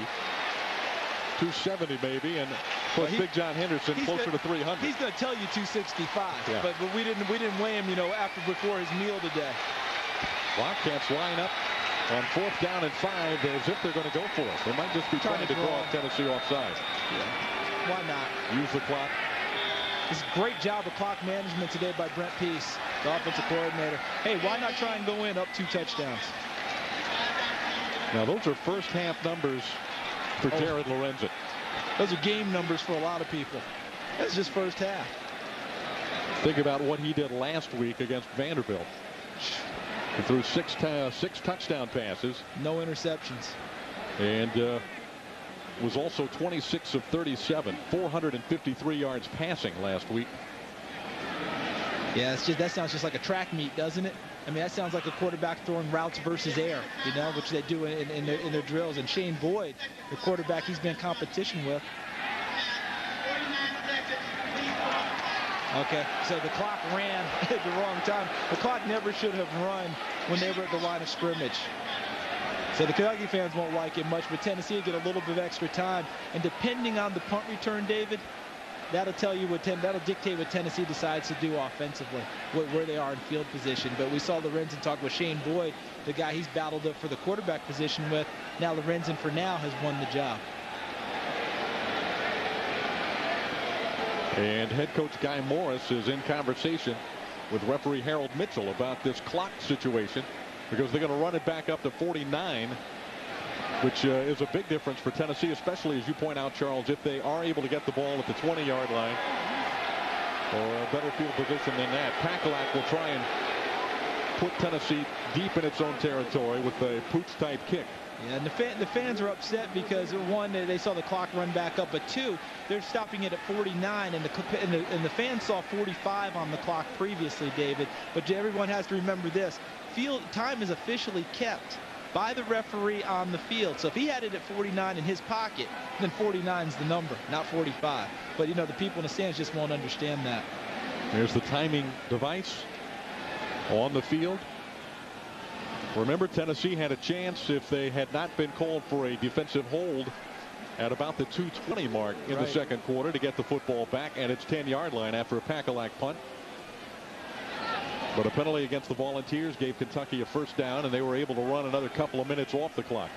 And if you're Tennessee, if you get a good punt return, you might want to take a shot at things. Clock should not have started until the snap. Therefore, we have 49 seconds on the clock. All right, another explanation. But it's a good explanation. The problem is everyone in this stadium saw 45 on the clock, not 49. That's the problem. But it was a timeout before the play. So so the problem with the whole thing is that when it's 40 when when it's, when it's 45 49 seconds on the clock, a called timeout, the clock doesn't start until the ball is snapped. All right? Ball's not snapped. So the clock never should have started. Now the five yards being marked off against Kentucky is for the delay of game. Remember, Lorenzen let the clock expire, the shot clock, and it'll be uh, fans not real happy. not very happy. Pakulak hangs it up high. Parker at the 10-yard line. No place to run. A great kick by Pakulak, putting him up against the sideline, and uh, Kelly was there quickly for Kentucky. Well, if you're Tennessee, you've got a couple of options here, David. You take a shot at it downfield, and when I say downfield, I say you work to the sidelines and throw a fade streak route to a wide receiver like Donté Stallworth or Kelly Washington, because if it gets intercepted, then you may have a guy there, or you throw it out of bounds. Or you take a knee or two and go to the locker room, because you kind of got the emotion at bay now. You don't want to give Kentucky another chance to get emotional before the half. I think they take a shot at it with Washington on the right or Stallworth on the left side. Throw it to the sidelines. I wouldn't throw it towards the middle of the field and have something happen with the ball tipped around. Instead, it's a screen play to Travis Stephens. Tennessee has one timeout left. Stephens up uh, across the 15 to about the 18-yard line. Patrick Wiggins made the Kentucky tackle. And the Vols lining up quickly.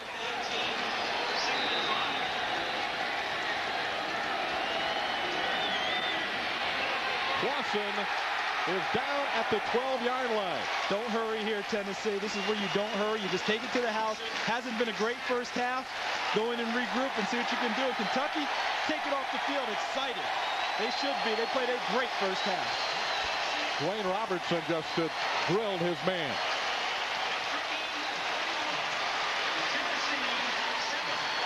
Kentucky fans exuberant. Their team leading by two touchdowns in the Commonwealth. Dave Baker with Guy Morriss.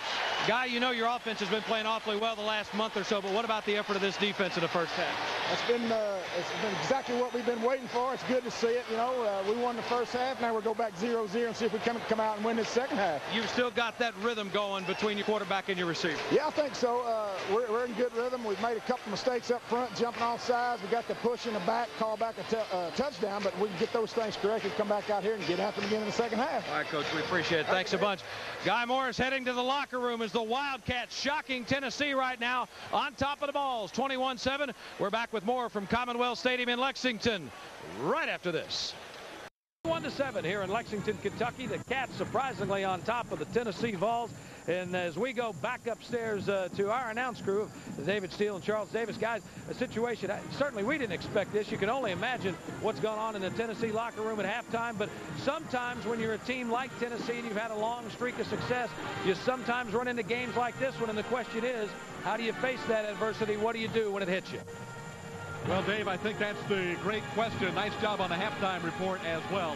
David Steele and Charles Davis back with you upstairs. And uh, I think the big question is, Charles, can Tennessee find the emotion that's going to be required to come back against a, a, an energetic Kentucky team today? Well, they're going to search for it awfully hard. I know the coaches right now are probably talking them pretty vigorously about the lack of emotion coming into the game. There are a lot of I told you so's being said in the locker room in terms of I told you Kentucky would be tough. I told you they won't lie down because these are not the Wildcats of years past. Guy Morriss has brought a toughness to this team that we saw in the first half. And uh, certainly they believe they can win this game now. They're up two touchdowns at the end of the first half.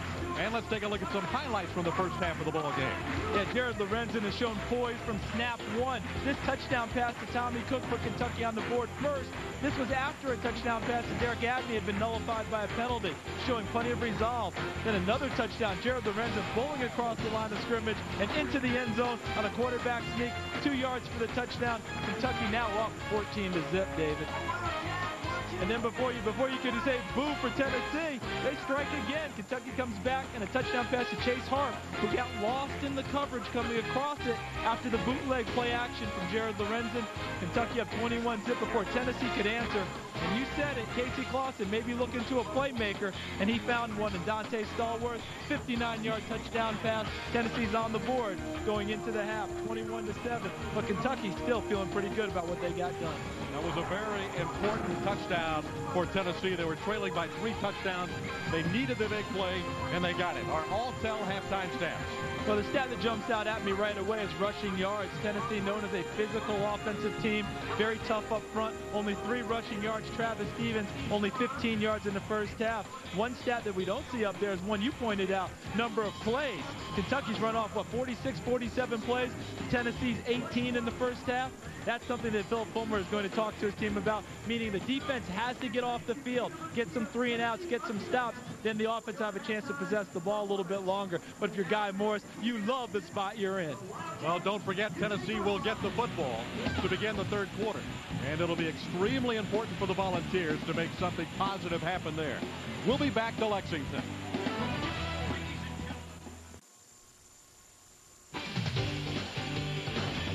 SEC football is being brought to you by Advance Auto Parts. The best part is our people.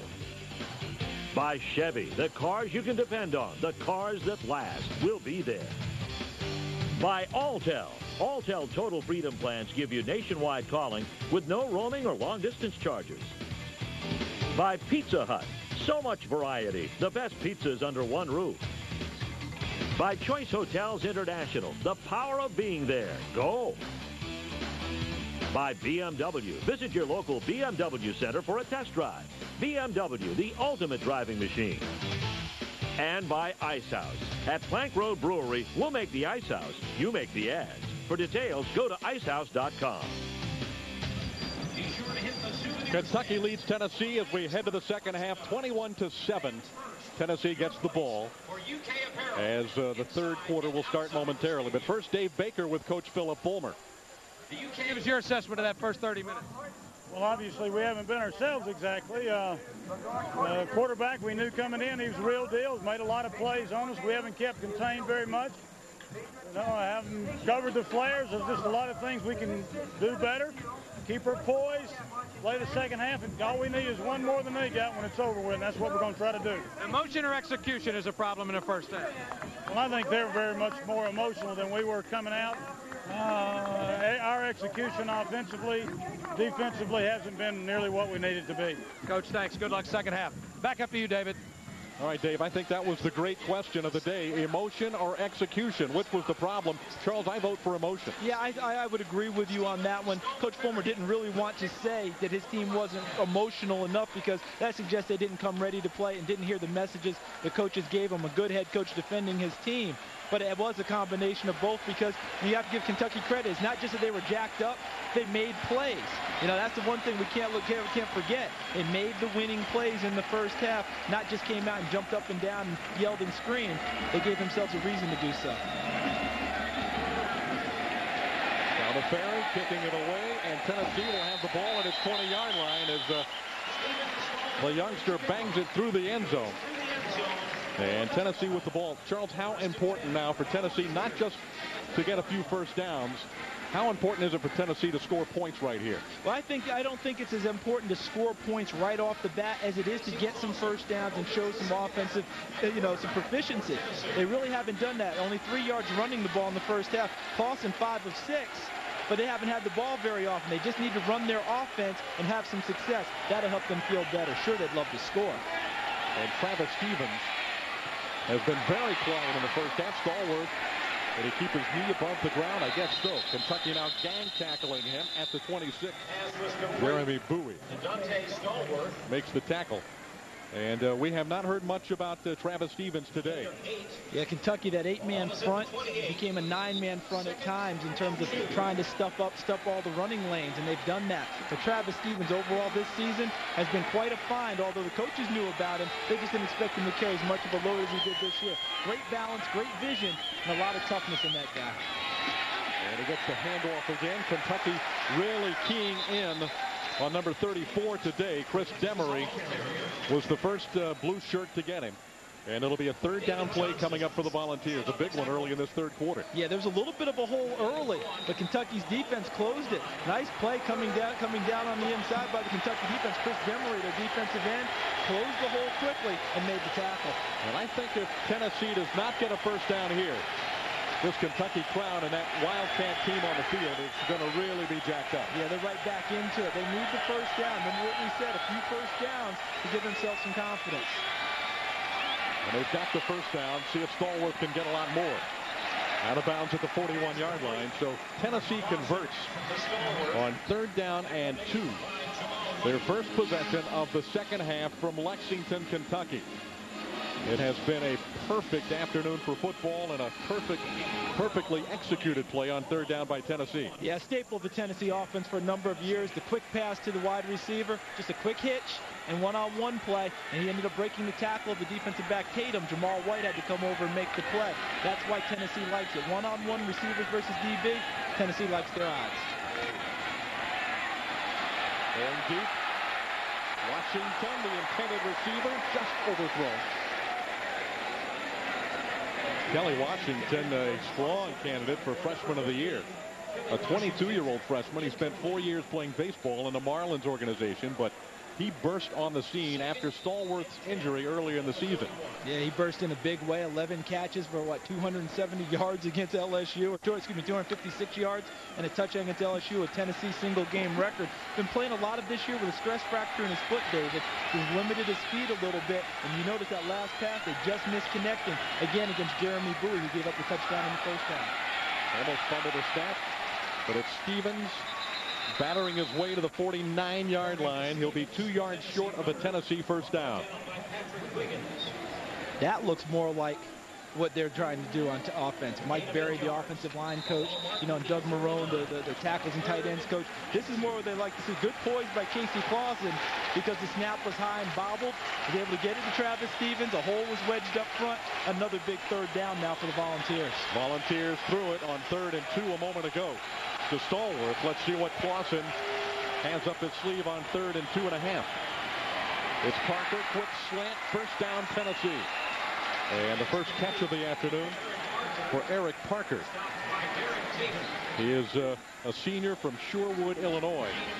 Nice play by Eric Parker. They expect big things out of him. He's had a lot of trouble with injuries. And it was press coverage by Derek Tatum, number 21. Tennessee often runs a fade versus press coverage. This time they showed the fade and then came back inside with the slam. And Eric Parker, who's battled injuries throughout his whole career, limped off the field after making that catch, but another first down for the Vols. It looked like they were checking his uh, shoulder.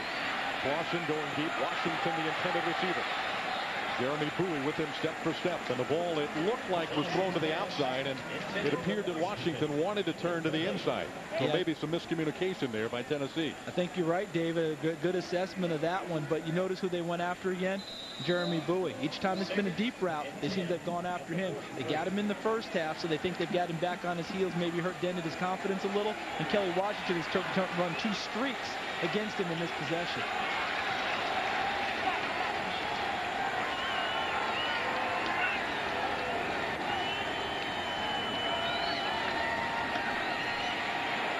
Kentucky, a four-man rush. Stephens. Well, Demery closed on him quickly, didn't he? Sure did. Got a lot of help from David Johnson, the outside safety, or the hybrid strong safety outside linebacker position in John Goodner's defense. Nice job of David Johnson closing on Travis Stephens, allowing Demery to come from inside out to make the tackle. This Kentucky defense has really played well today. Parker returns for Tennessee. Troy Fleming is the only setback on third down and 10. Tennessee has not had much success, but they have converted a pair of third downs on this drive. It appeared that Clausen hurried that pass. And the Stallworth says, I was open, and uh, you just didn't get me the ball. Yeah, I think Casey Clausen wanted to go elsewhere with the ball first. Then he decided to go to Donté Stallworth, but I think he realized that he was short of the first down and almost hesitated, like, I don't want to go there, and ended up not making as strong a throw as he wanted to. But Dennis Johnson was in there applying a little bit of pressure on Casey Clausen, making his presence felt again. Justin Colquitt, Greg Colquitt's son, Jimmy Colquitt's uh, cousin. Boy, that's good concentration there by Abney. He had a volunteer Witten standing uh, right in his face, looking eyeball to eyeball at him when he hauled that one in. Kentucky with the ball at the 15-yard line. Jared Lorenzen, outstanding in the first half. We'll see what he can do here in the third quarter. Dave Baker back at Commonwealth Stadium, Tennessee, trying to stop this Kentucky offensive onslaught. Injuries becoming a problem. Rashad Baker, you see the brace on his left ankle. He tried to go but could not a moment ago. Left linebacker Kevin Burnett on the sideline as well with a sprained left ankle that won't allow him to go. Big problems for Tennessee on the left side of the defense, David. Absolutely two key players for the Volunteers defensively. Artose Pinner. Driven down at the 17-yard line by Julian Battle. Nice tackle by Battle, the junior college transfer from California. And uh, Lorenzen just uh, amazing in the first half. Look at the completion percentage 198 yards, two touchdowns, no interceptions, and then you couple that with what he did and running the football, Charles, and that is quite a half of football. Yeah, that's when you got that's when you have the whole package, the total package. And Jared Lorenzen showed that in the first half. Again, Guy Morriss has said his maturity has been the key. Showed plenty of maturity and poise in the first half. And here he goes, rumbling across the 20 to the 23-yard line. He's just a difficult guy to bring down. He is so big and strong and a much better athlete than you would think looking at him physically. Yeah, when you and, and then on this play, watch number 37 for Tennessee, Eddie Moore, helping with the tackle. He's trying to get the ball out more than he is trying to tackle Jared Lorenzen. You see him right there pulling and yanking and tugging. They're trying to create a turnover deep in Kentucky's territory and give the offense the short field to work well, from. Tennessee, Charles, has forced seven turnovers in the last two weeks. Kentucky, no interceptions, no fumbles today. And that's the key to victory for Kentucky. Don't turn the ball over against Tennessee. Make them go to long field all the time. Quick strike to Allen. Great play. Great play there on the corner by Eddie Moore. The junior from South Pittsburg, Tennessee. Yeah, right. Open field tackle. That's right next to the Alabama border. My roommate in college was from Bridgeport, Alabama, which is like the sister city to South Pittsburg. They're right there next to each other, one on Alabama side, one on Tennessee side. But what a great play by Eddie Moore because that's a linebacker taking on a running back. And the running back's supposed to win that battle in the open field, David. Excellent open field tackle by Eddie Moore. And Tennessee desperately needing a stop. And they force the punt. Big rush. Pakulak gets it away. And it's Stallworth, uh, the return man at the 41-yard line. Kentucky really doing a good job covering. Kelly made the tackle for the Wildcats. Almost a block by Corey Larkins on this punt. Watch Pakulak as Larkins comes in from the right side and just narrowly missed it.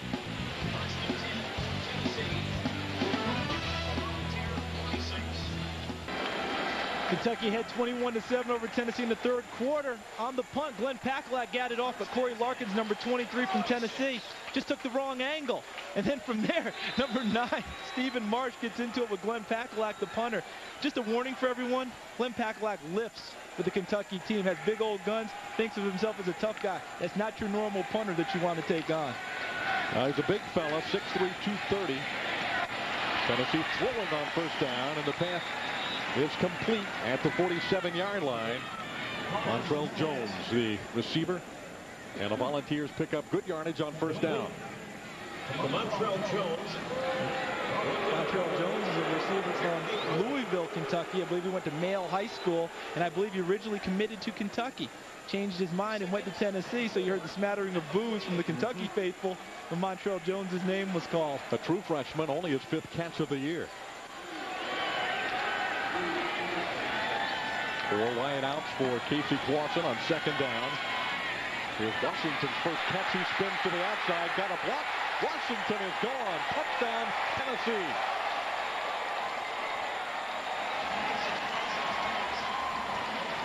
Forty-eight yards on the pass play for the Volunteers, and they are down by just one touchdown in the third quarter.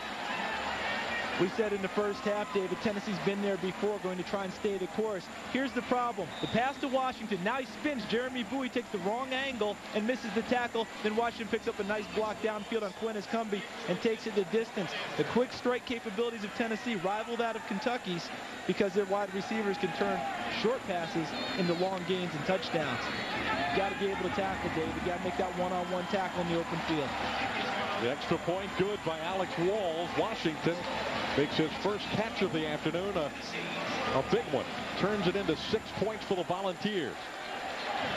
So this quick strike Tennessee offense. They've scored two touchdowns, both on big plays with Clausen Engineering. Yeah, and both of them on big plays at Jeremy Bowie, number 38. Very unfortunate for him. You know, in the last Tennessee possession, they took two shots at him downfield.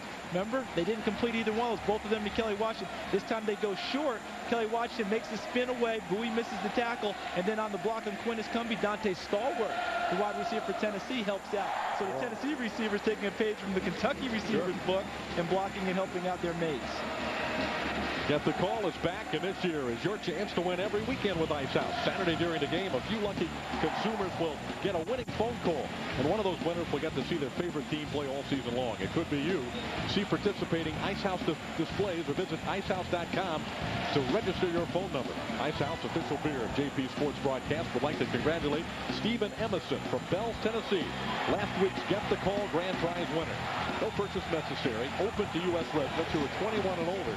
See displays for official rules. Sweepstakes ends November 20th, 2001.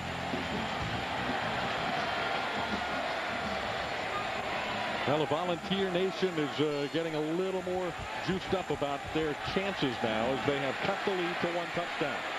Abney runs into a big orange wall at the 22-yard line. And that's where Kentucky will get the football. But now, David, you know, Kentucky's offense going back onto the field. Obviously, they, they want to score a touchdown. But I'm going back to what I said about Tennessee to start the second half. Some first downs, some offensive efficiency, control the ball a little bit, give your defense a little time to settle down on the sidelines. You don't want to put them right back into the fray with a three and out after a big strike from Tennessee. You want to control the ball a little while and help them out by giving them some rest. Second uh, possession for the Wildcats in the second half. They were not able to move the ball on their first third quarter possession. Lorenzen fumbling the snap, dumping it over the middle to Abney. He slips and falls at the 27-yard line. And a gain of five on first down for the Wildcats with Keyon Whiteside there and ready to make the tackle if Abney had not slipped. Yeah, Keyon Whiteside was the starter to begin the season. He's had to come back in for Kevin Burnett, who took his job because Kevin has been hurt in this ball game. Nice job pursuing he and Eddie Moore. And what I saw on that play, David, was Tennessee actually keeping it in front of them earlier in the game in the first half. That would have been a bigger gain by Derek Abney. Would have run more free in the secondary. Cook is in motion for the Wildcats on second and five. Pass to Pinner. Running hard, Artose Pinner to the 35. He'll pick up the first down. Eddie Moore, the volunteer tackle. But Kentucky moving the chains, trying to protect a seven-point lead. Georgia leading Ole Miss in the third in Oxford. A big one in the Southeastern Conference. South Carolina now on top of Clemson on our Pizza Hut scoreboard. And Ohio State coming back and taking a one-point lead on Illinois. Atlantic Coast Conference football action. And Arkansas, Mississippi State in the second quarter. And Arkansas still nursing SEC West title hopes if they can win out and get some help. Pinner running inside for a couple of yards. I think Kentucky's ability, Charles, to run the ball inside on occasion. It hasn't been a, a staple of their offense today, but just uh, well enough to keep Tennessee honest. Yeah, great point because they haven't had to play smash mouth. If they had to play smash mouth against the Tennessee front, they'd be in trouble. But because they've been able to spread them out, you know, with the offensive sets, that has allowed them to have some holes up front and allowed them to run inside, and that has been effective for them. Lorenzen working mostly today out of the shotgun at second and eight. Abney across the middle. Well, he catches everything that comes his way, doesn't he? He truly does. 49 catches coming into the game today, and I would doubt that there were very many drops among the, among the balls that came to him. And plenty of time for Lorenzen to throw. And notice the opening he had to throw the football, David. Remember, he's had three passes batted back at him by the Tennessee defensive front. That time, Kentucky's offensive line able to clear a hole for him, a throwing lane, as they call it, and he was able to deliver a strike low and hard to Abney. Tennessee has had the big play ability today. They've scored on a pair of quick strike touchdown passes from Clausen. Kentucky has been more of a ball control team today, and they've scored on three long touchdown drives. Dumping it over the middle. Intercepted. He fumbles the football, but picked up And it's still loose in the end zone. Touchdown, Tennessee. What a play. Rashad Moore intercepted the football. And then it was a mad scramble after the fumble, but the Volunteers get six out of it. We've just talked about tip balls, David. They'd had three. They had the throwing lane the last play. This time now, in the middle, Albert Haynesworth, number 92, tips it. Rashad Moore with the tip drill. Takes it all the way downfield on the interception. Chad Scott hustles, knocks it loose. Looks like uh, looks like Andre Lott has a shot, doesn't get it, but number six, Constantine Ritzmann, the defensive end with plenty of hustle down the field. He comes up with a touchdown for Tennessee, and we're about to have a tie ball game. And the extra point by Walls is good. We're tied at 21 with 5.53 to play in the third quarter. Tennessee looking for the opportunity, finally creating a Kentucky turnover.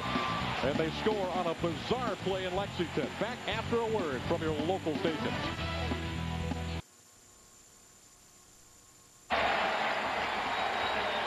Sixth-ranked Tennessee has erased a 21 to nothing Kentucky Wildcat lead. It's a big play offense. It was a big play defense with the interception by Moore and the recovery of the fumble in the end zone by Ritzmann. And we're tied with 5.53 to play in the third quarter. Great story about Constantine Ritzmann coming over from Germany to try and play American football. Played for a perennial power in Florida, North Florida Christian. And then Tennessee was able to recruit him. Marquez Johnson, he fumbled near the goal line, but he recovered and makes a nice return out at the 29-yard line.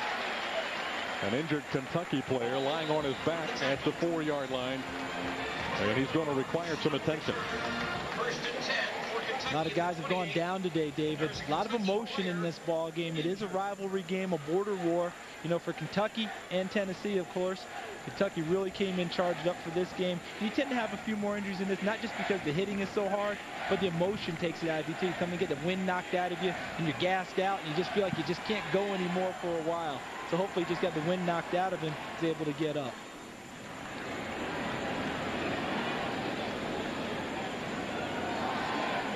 Well, when you're on the road to watch SEC football this season, plan on eating at Huddle House where you can order their big house breakfast and lunch platters anytime, 24 hours a day. That's Huddle House. From Lexington, Kentucky, the injured player is Mike Williams, freshman defensive back out of Tallahassee, Florida, and it looks like he just got the wind knocked out of him. Yeah, here's hoping the emotion of the game and probably took a glancing blow someone with maybe an elbow in the stomach. Here's hoping he can go because I think the Kentucky defensive staff has a decision to make about what they do with Jeremy Bowie on the corner. Mike Williams is one of the guys who would go in and possibly replace him. Tennessee playing with five defensive backs most of the second half, David trying to combat this Kentucky passing offense. And give Tennessee credit. They have responded after falling behind by three touchdowns in a hostile environment. Jared Lorenzen, the audible with the play clock ticking down. Lorenzen as a flag drops, Allen makes the catch at the 35-yard line. A gain of six, but there is a flag on the play. And it's going to go against the Wildcats, apparently a holding infraction. This is we're hitting the danger part of the game for Kentucky right now, David. Holding on the offense. 10-yard penalty from the previous spot. Repeat first down. And the reason I say that is because they, they jumped out that 21 to nothing lead, had all the emotion going their way, and now they need to settle in and have a good drive. They got to give their defense a chance to continue to relax, and the offense can't have bad things happen to it because now the confidence gets chipped away. You know, 16 straight years wears on you, even if your tip players weren't there for all 16 years. Wears on the fans, and it filters down to the players. They need a big drive here to help themselves out. That penalty eighth against Kentucky this afternoon. Hand off to Pinner. Volunteers taking a crack at him. Looked like that ball almost uh, shaken loose. Andre Lott made the tackle for Tennessee. Remember, he wasn't supposed to start today because of the hamstring problem that, that, happened against Notre Dame, but because of all the multiple receiver sets at Kentucky, they said, you can go, Andre, we need you out there. He's played a pretty good game so far and shown no effect of the injury. Well, he's one of the senior leaders, a three-year starter on that Tennessee defense. Rising to the occasion uh, here today in Lexington. Tennessee a little confused in the secondary. Derek Smith, we haven't heard much from Derek since early in the game. Another flag is dropped as uh, Smith makes the catch and is close to a first down. But there is another flag on the play.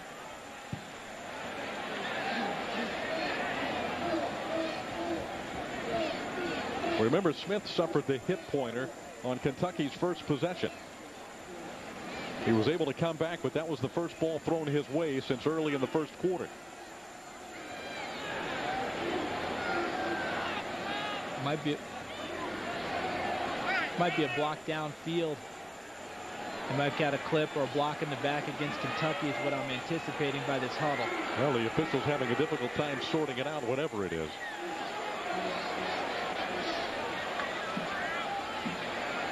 Kentucky seems to be in retreat, though. Their players anticipating the call going against them.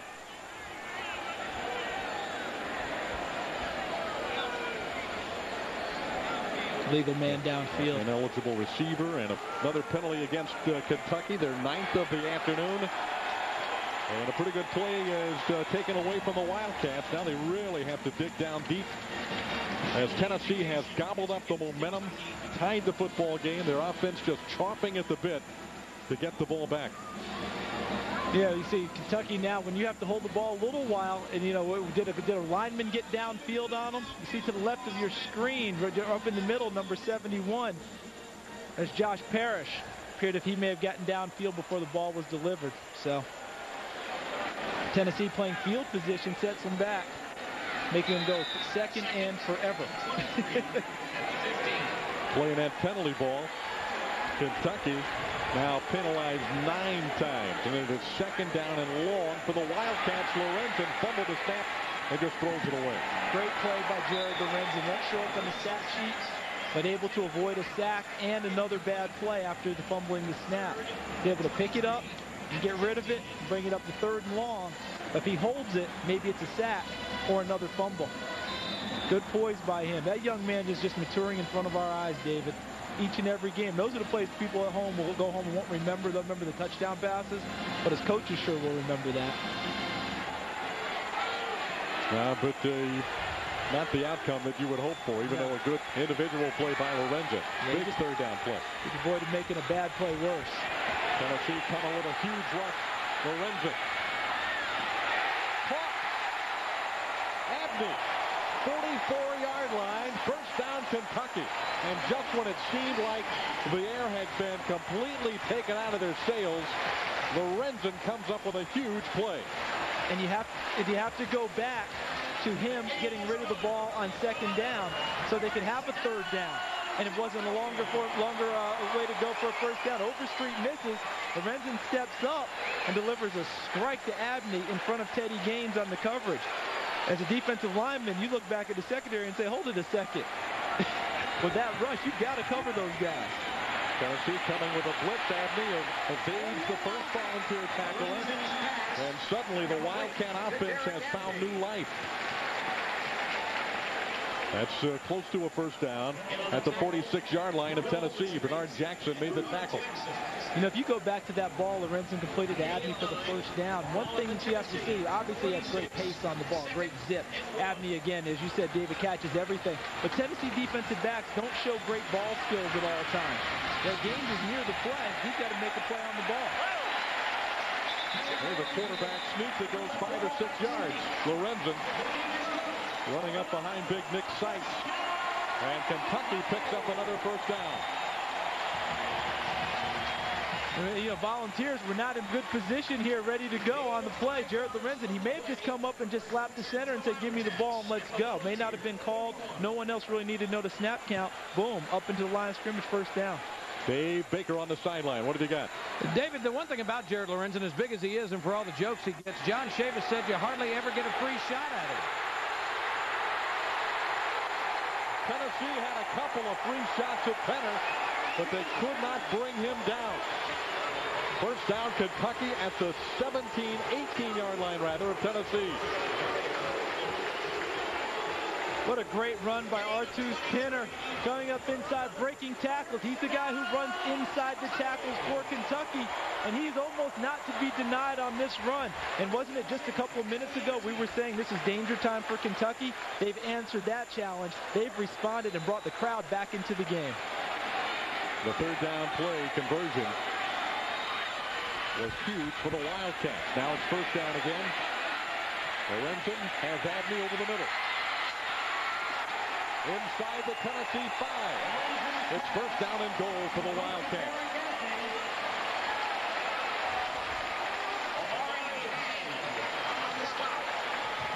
Just an incredible turnaround. And once again, Lorenzen looking for his favorite receiver, although he has really spread the ball around nicely today. Yeah, Jared Lorenzen buying time opened up the passing lanes and opened up a space for Derek Abney. When he goes on the move, people try to account for him. It's hard for a secondary to stay with receivers when quarterbacks are moving around and buying time in the pocket. Great drive by the Wildcats. Rolling out, here's Lorenzen. Oh, man. Hart had an easy six and could not make the play. Chase Harp, a former quarterback, came to Kentucky wanting to throw the football. He's a big guy, and they co the coaches say he's one of the tougher guys on the field since they moved him to tight end. He likes to block, likes to mix it up. But right now, he's thinking, oh, this is another six for me. The same play he scored on in the first half. You know, ball was on the inside hip of him, but it's a catch he has to make. Mark Jones was in the area, but he didn't cause the incompletion. The incompletion was caused because Chase Harp just didn't catch the ball. You can almost say Jackie Smith in the Super Bowl. I mean, that, that ball was just right in there. Couldn't have been thrown any better. I Good- mean, you know, you got to make that catch for Chase Harp, and he knows it. He's come to the sideline, apparently shaken up on the play, Yeah. psychologically at least, if not physically. Still second and goal for Kentucky. Lorenzen throws it away. Tennessee had good pressure on him. Richmond, Haynesworth.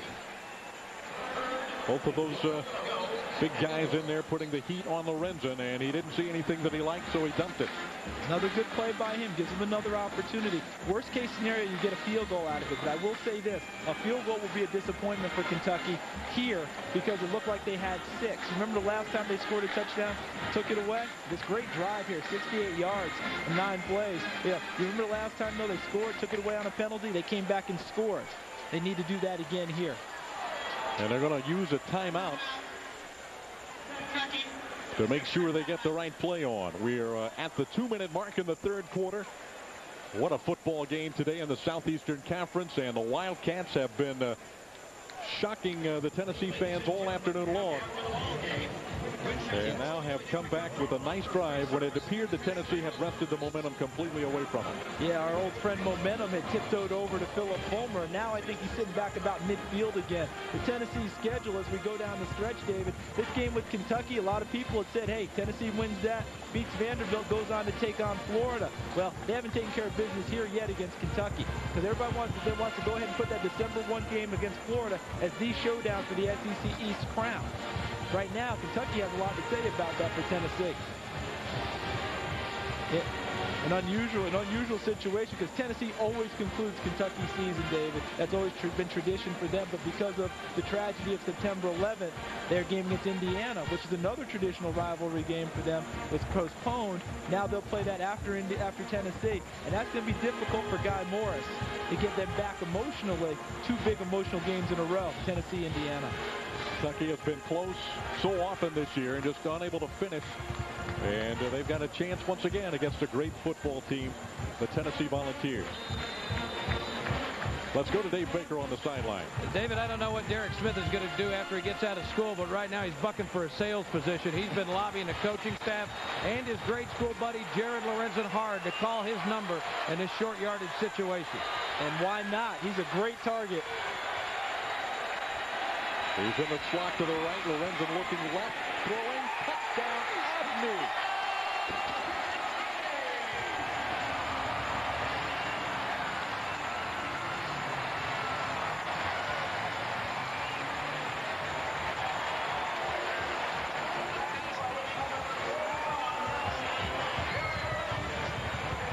Derek Abney has caught eight passes on the afternoon. And this one puts Kentucky back in the lead after they had given up a three-touchdown advantage and appeared to be in big trouble. And it was Abney, remember, that made the big catch on the third down conversion when Tennessee was third and better than 20. He's had quite a day. His eighth catch, David. Remember, Randy Sanders told us on the conference call, the offensive coordinator for Tennessee, that these are not the Wildcats that we're used to playing. This team has a lot of heart and effort and grit, and they are showing it today. Great job by Kentucky. Guy Morriss has done a fantastic job in his first year getting this team ready to play in this ball game. And they certainly were ready today. And Abney from Lorenzen. His first touchdown catch of the afternoon, his fifth of the season, the eighth of his career. He's been a tempo setter for them, David, all year long. He set up things for them. He's made plays. Even going back to the first game, they may have lost to Louisville, but his punt return energized that team.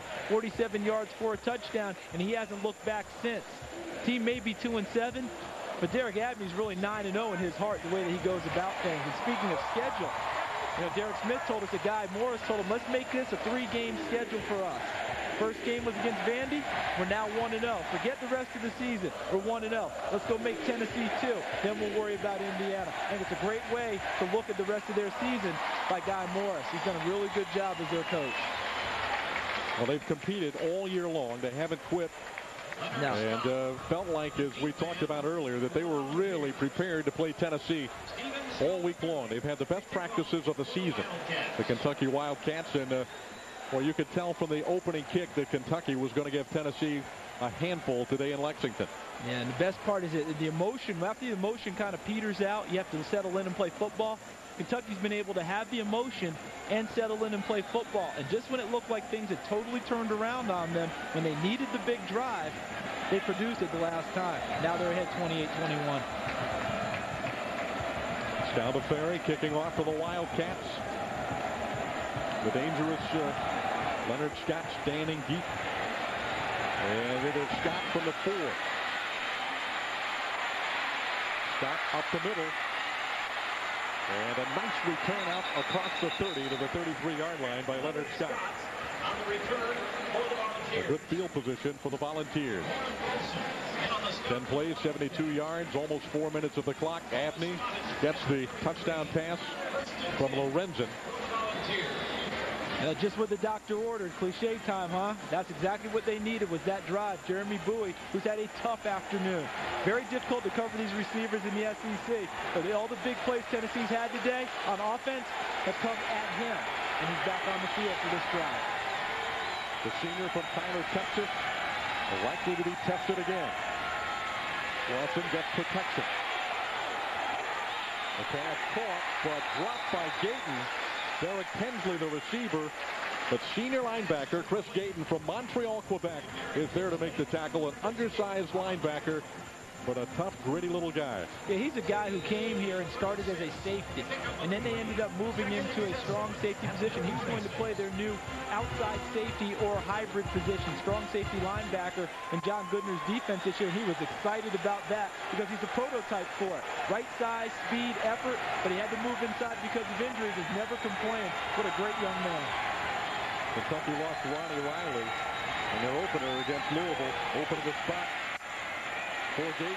Swing pass to Stephens. Well, you can't tackle this guy around the ankles, can you? Very difficult to do. He has great leg drive and keeps his keeps his feet moving.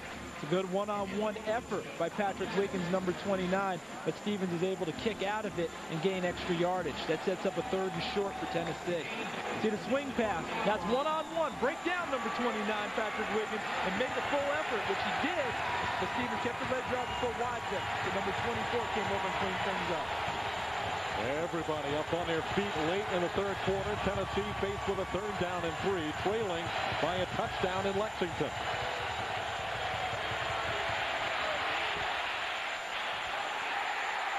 It looked like Clausen short-armed that football. Well, he ran out of space, David, because the route ran all the way to the sideline. And he ran out of room. Donté Stallworth had to stop running because there's no more real estate. He had to set up on the sideline, hope the ball got to him. And Casey Clausen ended up throwing it inside of him. Didn't get enough on it. Good well, stand for Kentucky. And he went to uh, the guy that you would expect Stallworth for the big third down conversion, but could not convert. Robertson limping off. He's already had uh, difficulty in the game with uh, an injured knee. Colquitt punting. Abney from the 11. He got a block. He turns the corner into 10. Oh, tripped up from behind. A great play by Tennessee. Boy, I tell you what, that was a big-time tackle by the Volunteers to keep Hanson from turning the corner. Yeah, Mark Jones, you know, if, if he doesn't make this play, it looks like Abney has the corner in a little bit of a wall. And this young guy is dynamite. See him coming to the left. He's about to pick up the blocks on the corner. Mark Jones right here, last effort, just hits him on the heel, runs that heel into his other foot and knocks him over. Big time tackle for Tennessee. Not aesthetically pleasing, but exactly what they needed. Well, you saw Whiteside who was in the picture, but I think Abney goes right by Oh, yeah, him. Whiteside has no chance to make the play there because of Abney's speed. Well, that's a big play for Tennessee's Jones.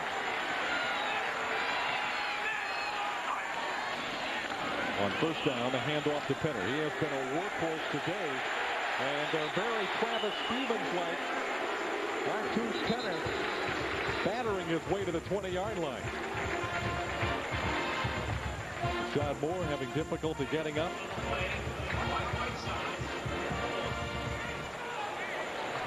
And Phillip Fulmer watching the clock tick down in the third quarter with his team trailing by seven.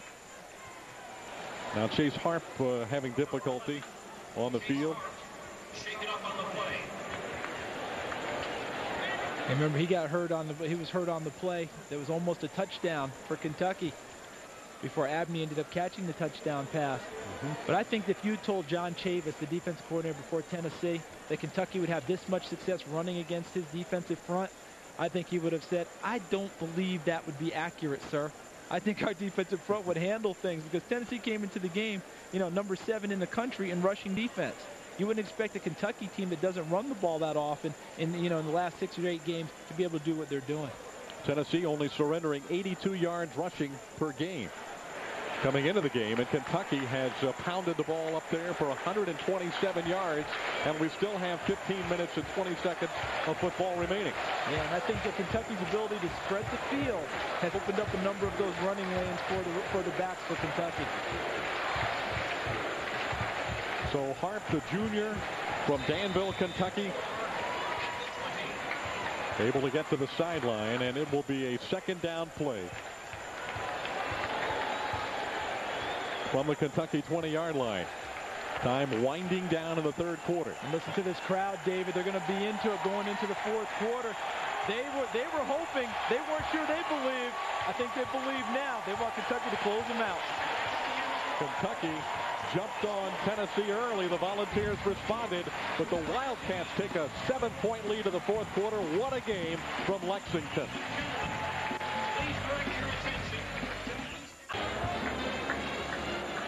There's your scoring summary after three quarters of play from the Commonwealth Stadium in Lexington where the Wildcats jumped out to a 21 to nothing lead. Tennessee tied it up at 21 and Kentucky went back on top on a Lorenzen to Abney touchdown pass. Now the Wildcats as we start the fourth quarter are second down and four from their own 20 yard line. Lorenzen's pass complete to Sims. First down for the Wildcats at the 27. Early in the football game, Kentucky came out roaring. A 74-yard touchdown drive capped off with a strike from Lorenzen to Tommy Cook. Tennessee, after trailing 21 to nothing, responded with two big plays. One of them, a long pass play from Clausen with Washington doing most of the work on it. Running after the catch, Tennessee tied the score at 21, but Kentucky responded. Abney, who converted a huge third down play earlier on the drive, caught the four-yard touchdown pass from Lorenzen. And that's where we are, 28-21 Kentucky, early in the fourth period. Stop to the play by Jackson. Jared Lorenzen, you can't say enough about his play today. The sophomore from Fort Thomas, Kentucky. Lost his starting job after the Louisville game in the opener. Shane Boyd uh, took over for three weeks. Lorenzen got the job back against LSU as he guided the Wildcats back from a big deficit. They almost won that game. And Lorenzen has played very well since then. He pump fakes and delivers. And that went right through the arms of Dougie Allen. I wonder if he knew the number 14 Julian Battle was coming. Third and nine. You talk about Jared Lorenzen getting his job back. He did it the old-fashioned way, the Smith-Barney way, David. He earned it. And he earned it off of a hit like that from Will Overstreet, too. You know, you, you almost you almost could feel Dougie Allen sensing Julian Battle's presence. There's Guy Morriss. Come on, guys. Winning, you know, to win games, you got to make those types of plays throughout the game. Not just three quarters worth, not three and a half quarters worth, but four quarters worth, because that's what's caught Kentucky a few times this season, not closing out games. The emotional leader of Tennessee's defense just went off the field. Will Overstreet. And third down for Kentucky. Blitz coming from the outside. Cadell's running back to the inside and nowhere to go. Bernard Jackson running very effectively laterally. He's got great speed in pursuit of Sims.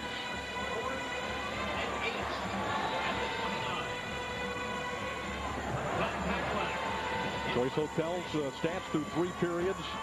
And you see Kentucky still dominating. Look at the rushing. Who would have uh, believed that Travis Stephens and the Volunteers would have only 12 yards rushing through three quarters?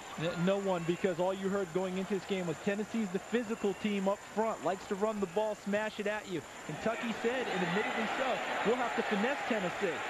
Today they've been just as tough as the Volunteers. Great job by uh, Kelly makes the uh, the tackle. Stallworth able to keep his knee above the ground. It didn't look like he was going to be able to. Yeah, it, I it, thought it was. I thought the play was down, but the official was right on the play. He had a better view of it than we did. Looks close, but you know something? No. Nope. He almost pulled a Michael Jackson there and has his body moved away. Most of you know moves in a way that most people don't. I mean, it's unbelievable right there. I thought for sure he was going down, but he kept the knee above. And again, the officials on top of the play, have a better view, and again, make the right call. You could have stuck a blade of grass between his knee and the ground, but he did not touch. Clausen on first down. Stallworth, great catch over the middle. And he knew he was going to get drilled, and he holds on to the football. And a penalty is going to go against Will Overstreet from Tennessee, making a horrendous play downfield. Not necessary. Plays over. It's an extra block, when it's not needed, trying to intimidate someone, and it'll cost his team. Nullify a terrific catch by Donté Stallworth across the middle. Took a bunch of big hits, and then right at the end of the play, often he was a, with a late block. Mm. Dead ball, personal foul, late hit on the offense, get first down. Tennessee has not been penalized often, but a costly penalty for the Volunteers in the fourth quarter because it'd be first down and they'll spot it from where they made the yardage, where Stallworth ended up with the catch. But it now to be first down and long yardage.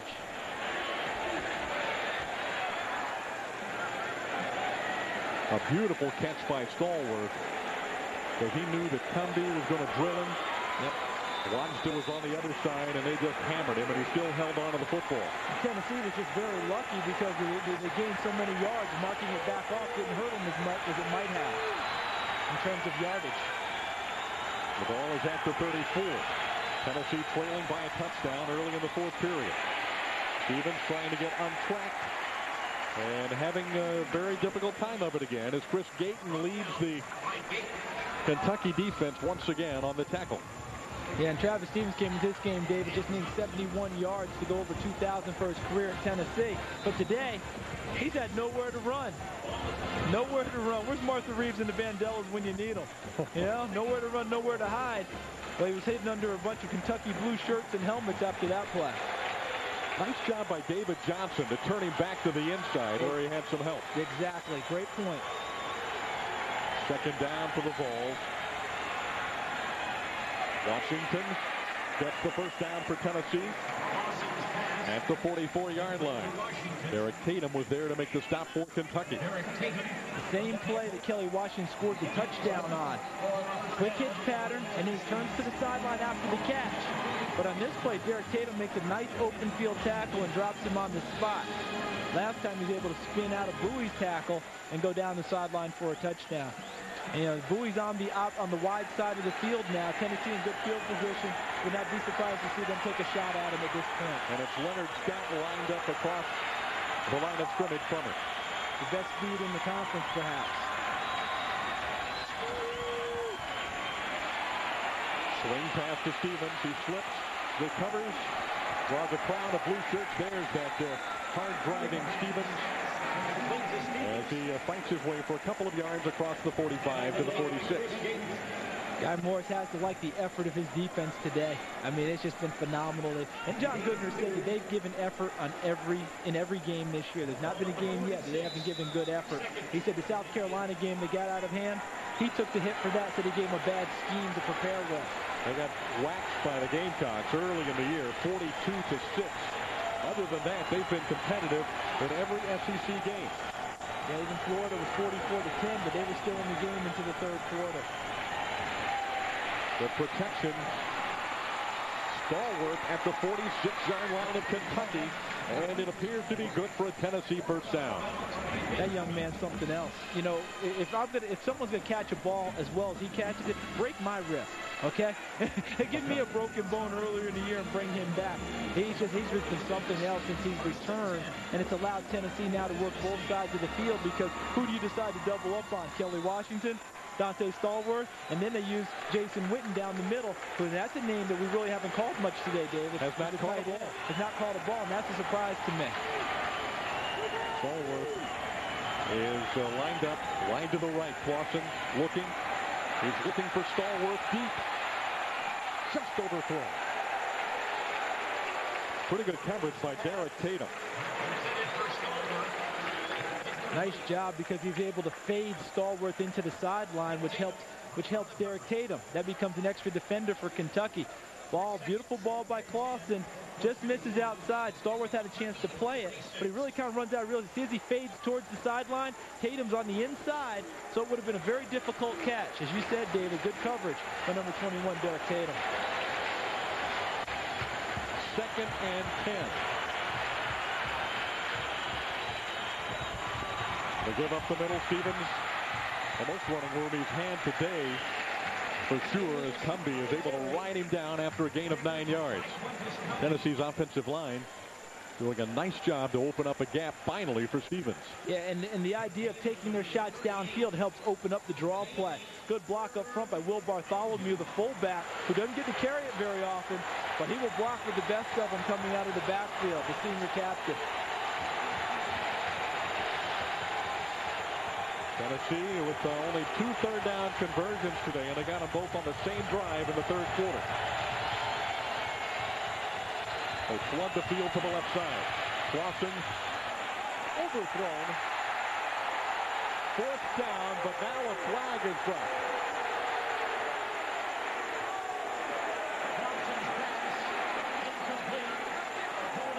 And it will be pass interference on Kentucky. A rather late penalty flag dropped on the Wildcats. Pass interference on the defense. 15-yard penalty for the previous And I think the question is, Charles, was the ball catchable? I, you know, David, at the end of the play, the ball was not going to be caught. So, but but but the receiver had a chance. They got Anthony Wajda, number 24 at the end of the play, holding on Montrell Jones, the freshman. Watch him on, watch him there. See him reach out and grab Jersey at the end. It's a ticky-tack one. But he did it so much. There was so it was so obvious to the official trailing the play. It's almost as if the official said, "You know something? That's going to be on film, and I get graded too." And you know, and I have to call it. Otherwise, I'm in trouble with my supervisor. Anthony Watts did not need to grab him on that play. Now the ball was clearly going to be overthrown. But it is a first down and a big play for Tennessee. Clausen pump fakes going for Stallworth. A lot of contact again. Stallworth still catches the football. Touchdown, Tennessee. And it was Bowie out there on an island with him. And this is just a tremendous football player, Donté Stallworth. Yeah, and I feel I feel horrible for Jeremy Bowie right now. Came right back at him again for their big play. And David, you mentioned it, a lot of contact at the end, a little, little chicken fighting, as they say, between the defensive back and the receiver. You know, someone's going to say one pushed off on the other. The official said no advantage either way. See him kind of hand fighting inside. Great play by Stallworth, and what a tremendous catch. Oh, man. Jeremy Bowie's thinking, what more do I have to do one arm to in make there. a play? And Coverage is not bad. A beautifully thrown ball also, which might have been lost uh, in the fact that Stallworth made such a great catch. But Tennessee has tied the score. 9.32 to play from Lexington.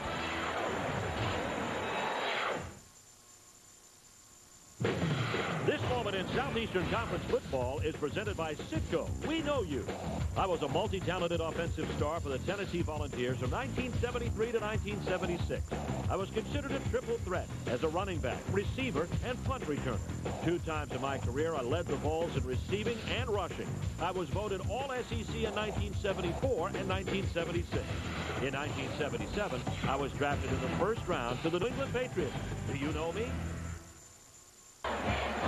Back in the Commonwealth, we're tied at 28-28 with 9.32 to play in the football game, and a whale of a football game it has been today from Lexington. There's a big man receiver and return man, Derek Abney, waiting uh, the kick from Alex Walls. He's back near the end zone with Martez Johnson. Kentucky led 21 to nothing. Tennessee came back and tied it at 21. The Wildcats went back on top at 28-21, and now Tennessee has tied it again. Johnson, another nice return. Kentucky has been very effective in their kick returns today and has given Lorenzen good field position. Let's check with Dave Baker on the sideline. David, the big question on the Kentucky sideline was twofold. Number one, what was the penalty? The line judge said it was a push in the back. The other question they had, was it in fact a catchable ball? The ruling by the official was that it was, and that led to the touchdown. Yeah, David, I think the problem was with Anthony Wajda, he wouldn't have caught the ball, Dave. All right, it was it was a ball that you couldn't say wasn't catchable, but Right. he would have never caught the ball. But Anthony Wajda clearly grabbed him with the jersey, and I think the official had to make the call. It was very unfortunate because if he doesn't touch him, he doesn't make the play anyway. And Wajda, for his part, didn't know where the ball was. He No. didn't know the ball was going to be overthrown. He just knew his man was three Yeah. yards uh, in front of him. And that's not supposed to happen either for a guy playing center field in a free safety. There He's supposed to know where the ball is. There you so, go. So all around, unfortunately for Anthony Wajda, who's played a good game, that could be a killer play for Kentucky. But they've shown a lot of resilience in this game, Dave, and they've always seemed to come back when things have looked, looked like they're going against them. Well, it appeared at one time that Tennessee might be on the mat for the 10 count. They bounced back. They had the momentum. Kentucky then wrested it away from them, and now Tennessee back with the momentum. We'll see if their defense can hold Kentucky here. Lorenzen has had a fabulous day. The shovel pass uh, has not been a very effective play for Kentucky. On the two occasions that they've tried to run it, both times the ball was almost intercepted. Jared Lorenzen in the pocket. Now they're looking to run the shovel pass they ran earlier. And about the same result. Artose Pinner took a big shot earlier in the game from Kevin Burnett. And now his backup, Keyon Whiteside, hits in the same way. Again, drop the drop behind the line of scrimmage, or near the line of scrimmage. Give yard. It's second and nine. Eight minutes, 50 seconds left.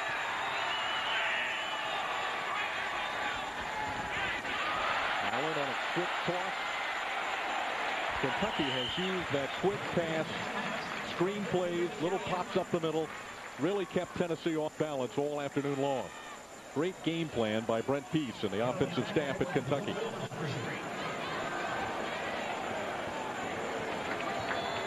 And Derek Smith told us before the game, Charles, that win or lose, he didn't know if uh, Kentucky could pull off the upset, upset, but he did know that Tennessee would know they had been in a ball game today. That certainly is the case. Yeah, he said he wouldn't go out on a limb, but he believed that Kentucky would play an excellent game, and that they have. Pinner running up and inside again, and he picks up the first down on third and one. Lott made the tackle, but Pinner has been a bull all day for Kentucky. And running again inside on the Tennessee defense. I know John Chavis is thinking, I've got an Outland Trophy Award winner from last year who may be the first pick in the old draft next year. And they're still running inside. Albert Haynesworth's another 300-pounder. They're running inside on me. I'm not believing my eyes. Give the Kentucky offensive line a lot of credit. Last three or four games, they've been together, and they've worked awfully hard, and they're playing very well today. Lorenzen wants Allen and short hops him at the 35-yard line. One of the Let's few take a bad look. balls. Beats Hot scoreboard. Big win for the Georgia Bulldogs on the road in Oxford this afternoon. And South Carolina playing uh, arch rival Clemson with the lead in the fourth period. Illinois has defeated Ohio State. And Georgia Tech leads Wake Forest in a big uh, ACC showdown. Well, Jim Grobe's done a great job at Wake Forest this year. John Bunting trying to get their sixth win today against Duke and become bowl eligible for North Carolina. Yeah, great job by Bunting and that North Carolina staff also.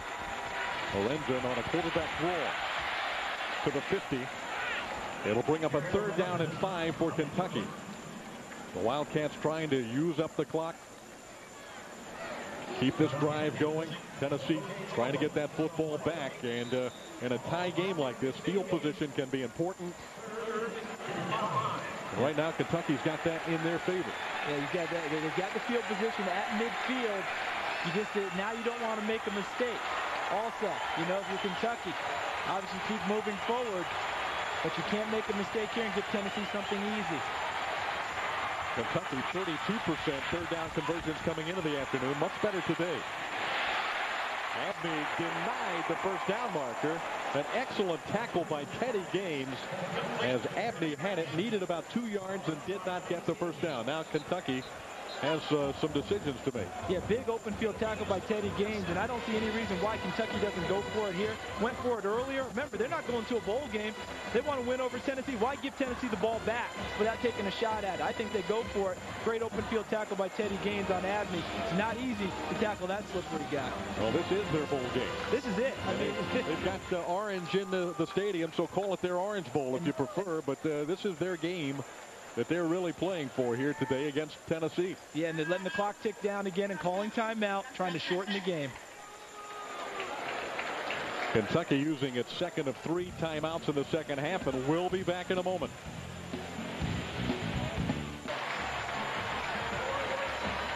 We're tied it with 6-11 to play in the fourth quarter. It might be the play of the game. Fourth down and two for Kentucky at the Tennessee 47-yard line. Lorenzen to throw. He's scrambling. He looks. Pinner incomplete. Tennessee takes the football at the 47-yard line. Great field position for the Volunteers. What about that play, Charles? Well, they were trying to run that crack screen again to the back to the back, looping out of the backfield. He looked to his right, and then he didn't have it. Now the receiver had to change his route. So does everyone else. They're in scramble mode. Tennessee, good coverage downfield, flushed him out of the pocket. I'm a little bit surprised in terms of Jared Lorenzen not being able to kind of bootleg out a little bit and make a quicker throw. But that's a play that has worked well for them all day. Hard to question Brent Pease coming back to it in this situation. Tennessee finally holding on defense. Huge play for them. And uh, the field position that we talked about a moment ago now in favor of the Volunteers. Play action, Clausen will keep. Clausen to the Kentucky 40 to the 38-yard line of the Wildcats. That's an element of Casey Clausen you don't hear about very often is him being able to run the ball. Doesn't have a lot of yardage because he takes a lot of sack yardage in terms of running, but he does have three touchdowns rushing for the season. Scored one against Notre Dame. So, so here he is now flushed out of the pocket, gets upfield, and you notice he knows how to preserve his body. Gets down before the big hit comes. First down for the Volunteers. Watson throwing deep. Stallworth is out there. Touchdown, Tennessee.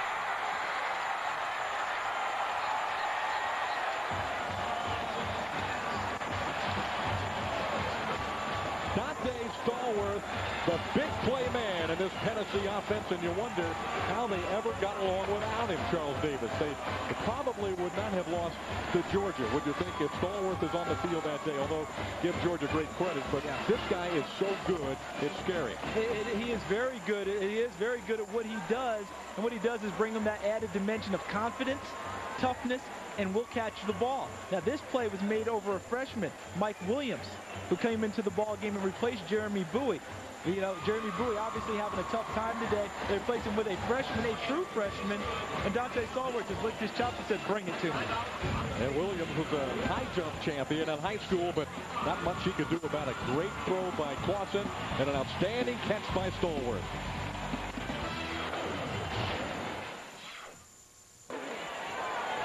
For the first time this afternoon, the Tennessee Volunteers are in the lead in Lexington, Kentucky. 5.26 to play. And number six, Tennessee, battling back from a three-touchdown deficit. Goes up on a beautiful pass from Clausen to Stallworth. And now it's Kentucky's turn to try and uh, respond as uh, they have moved the ball effectively all afternoon long, Charles. Surprised they took to Abney, although Martez Johnson made some great returns earlier. Abney at about the 21-yard line, and that's where Kentucky will have it first and 10. Let's check in again with Dave Baker. David, one of the most impressive things this afternoon, I'm sure Phillip Fulmer will have plenty to say this week about his team's performance today. But the one thing that has been a constant has been the composure of this Tennessee staff, and that's translated into this offense here in the second half. You haven't seen a lot of gyrations down here. We heard Phillip Fulmer say at the half, we just need one more than they've got. And right now, if his defense can come up with a stop, they've done just that. It is a huge possession on both sides of the ball. Kentucky needing uh, seven points and Tennessee looking for the big play defensively. Allen. And there it might be for Tennessee. It's a fumble, and the Volunteers have recovered it, but they're going to say he was down. They'll bring it back. That's why they're calling him down on the play. I know Phil Fulmer won't be happy with that. Eddie Moore, number 37, the linebacker, stripped him on the play. And let's go back to earlier in the game. Remember he tried to do that to Jared Lorenzen when Lorenzen was carrying the ball? Great tackle by Moore. I don't think there's any question the ball stripped out. I, am not sure that he could, you could call him down here. Ball stripped. That's a fumble. That's a fumble. And no question about it. But Kentucky, which was upset about the call against Wajda, now sees the benefit, now is the beneficiary of a call that should have gone against them. So sometimes these things have a way of evening out.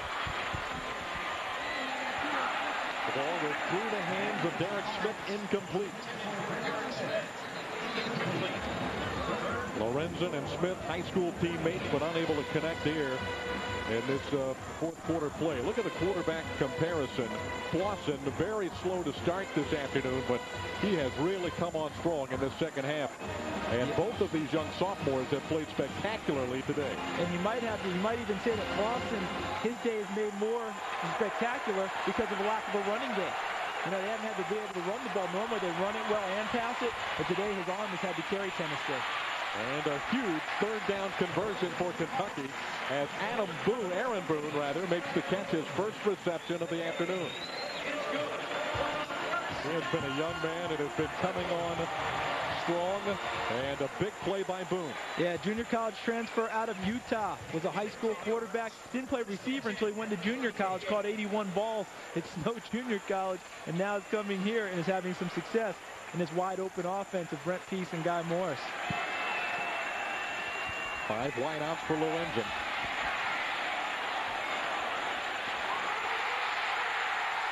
Keller.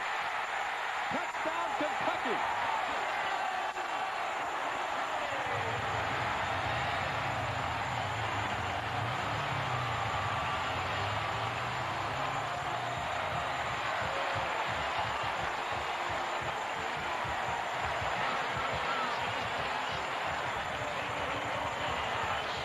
Sixty-two yards on the play, and Lorenzen threw a strike.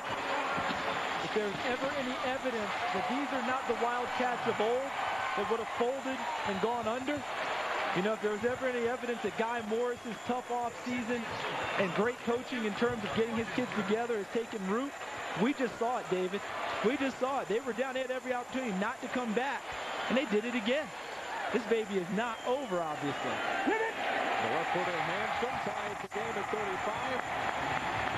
And it's senior Anthony Kelly, one of 22 seniors playing in their final game in Lexington, Kentucky today. And those young men do not want to surrender to the sixth-ranked Tennessee Volunteers. No reason for them to do so because they've gone head-to-head, helmet-to-helmet, toe-to-toe. Let's try out all the cliches all day long. They told us yesterday, David, they believed. I'm not sure we believe them that they actually believed, but they did it. And what a great throw by Lorenzen. Anthony Kelly wide open. Julian Battle, number 14. I mentioned earlier in the ball game, Tennessee's defensive backs, they're all terrific athletes, but sometimes they don't show great ball skills, meaning knowing how to move towards the football and break up plays. Battle just doesn't get there. Not bad for a senior, huh? Bad angle getting over there and a great throw. And the other thing about it, Charles, was there aren't many quarterbacks that, that could have gotten the ball that quickly no. into the hands of the receiver. His arm is so strong that he beat the defensive back battle to the receiver. Battle couldn't get there in time because of his cannon. And then after the touchdown pass, he almost beat the ball downfield chasing his pass, didn't he? The big fella showing some nimbleness getting downfield. What a great throw. Both quarterbacks, four touchdowns today. Uh, just a tremendous effort on both sides of the field by Clausen and Lorenzen and uh, and only sophomores. Are we at the stage of last team of the team of the ball last to win? It might be. We're at the 353 mark. And one of the best games that I've seen in a long time here today in Lexington. Yeah, if you can't have fun with this one, they'll take that pulse, right? and uh, a sellout crowd having a, a great time as well, although I'm sure the Tennessee faithful are just a little bit uneasy. They have so much to play for. Regarding the BCS rankings and a, a huge game for Tennessee. The announcers for this game are selected and compensated by Jefferson Pilot Sports. This broadcast is a copyright presentation. Any use of this broadcast without the express permission of the Southeastern Conference and Jefferson Pilot Sports is prohibited.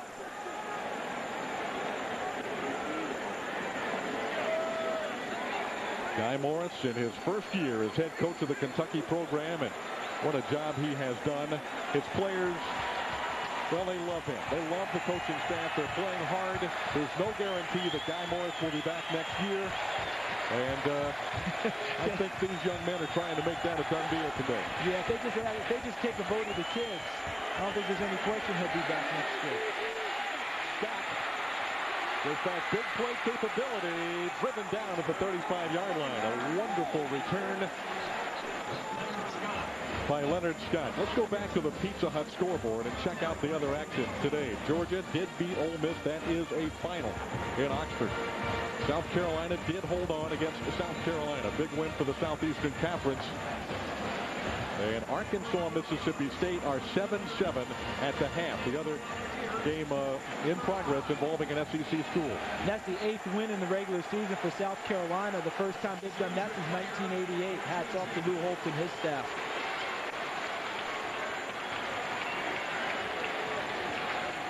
The injured player is Corey Larkins. Dinged up on the return by Leonard Scott. Tennessee with such uh, explosive playmaking ability with Clausen's arm. You know, Leonard Scott appeared to have a better a better opening to go a longer way. But Stephen Scaldaferri, the kicker, number 90, who has made a tackle on uh -huh. kickoff coverage already today, he got out in front of him and forced Leonard Scott back inside where he got some help. He's a physical kid. Yeah, he, he, he and out. And uh, once again, the, the big playability of Tennessee has to strike the fear and uh, these Kentucky fans that are so exuberant right now. But Stallworth has made uh, one big play after another. And eight catches, three touchdowns already for the junior from Sacramento, California. Notice in the Kentucky secondary, too, Mike Williams, who had come in for Jeremy Bowie, number 14, the freshman who was victimized on the last play. They've got him out, and they're going back with experience, Jeremy Bowie. You know, the coaches have told him, hey, we got confidence in you. Go out there and play hard. Now he has a chance to be a hero. No one will remember the rest of it if he makes a play here and gives his team a chance to win the ball game. He can wipe out a whole afternoon's worth sure. of stuff with one play. And uh, Bowie is a senior, one of those 22 seniors we talked about. So you put it in the hands of uh, the more experienced player with 3.41 to go. It's Washington lined up opposite Bowie. Did someone jump for Tennessee and called, drew him off sides? I think it was the senior Fred Weary. And uh, big number 70 jumping the gun. That'll cost his team five yards. Get ball. Ball start on the offense. Five-yard penalty. Two first down. Number 70, Fred Weary in the middle of your screen. And you know something, once you get all that all that weight moving, once you get it moving in one direction, there's no calling it back. Offensive lineman, you know, if you just switch up there, they're going to call a penalty on you for a false start.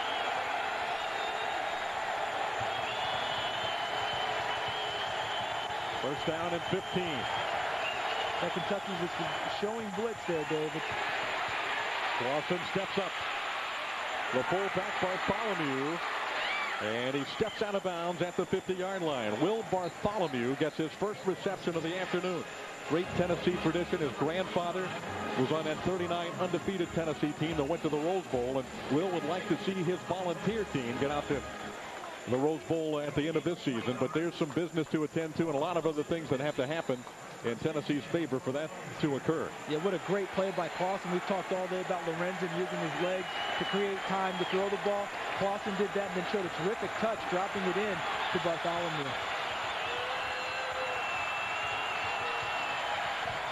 Stephens cuts to the outside, shakes away from Johnson, and picks up good yardage on first down, stepping out of bounds at the Kentucky 41-yard line. Wiggins made the tackle for the Wildcats. His stat sheet will not be a great one. This is not a day to remember for Travis Stephens, but how many times have we seen him shake off the first tackler and make extra yardage for his team today? David Johnson is a sure tackler, an excellent tackler out of the secondary. Travis Stephens able to shake him and pick up about eight yards on the run.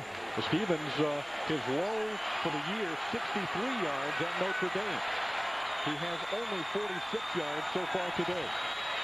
But he gets the call again, and he got a great block on the corner, turning downfield at the 35 and run out of bounds at about the 27-yard line of Kentucky.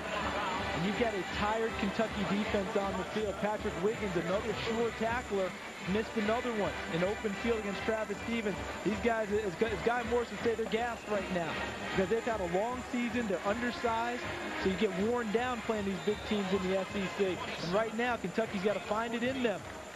You know, to marshal up their forces and their strength and make one last stand this afternoon.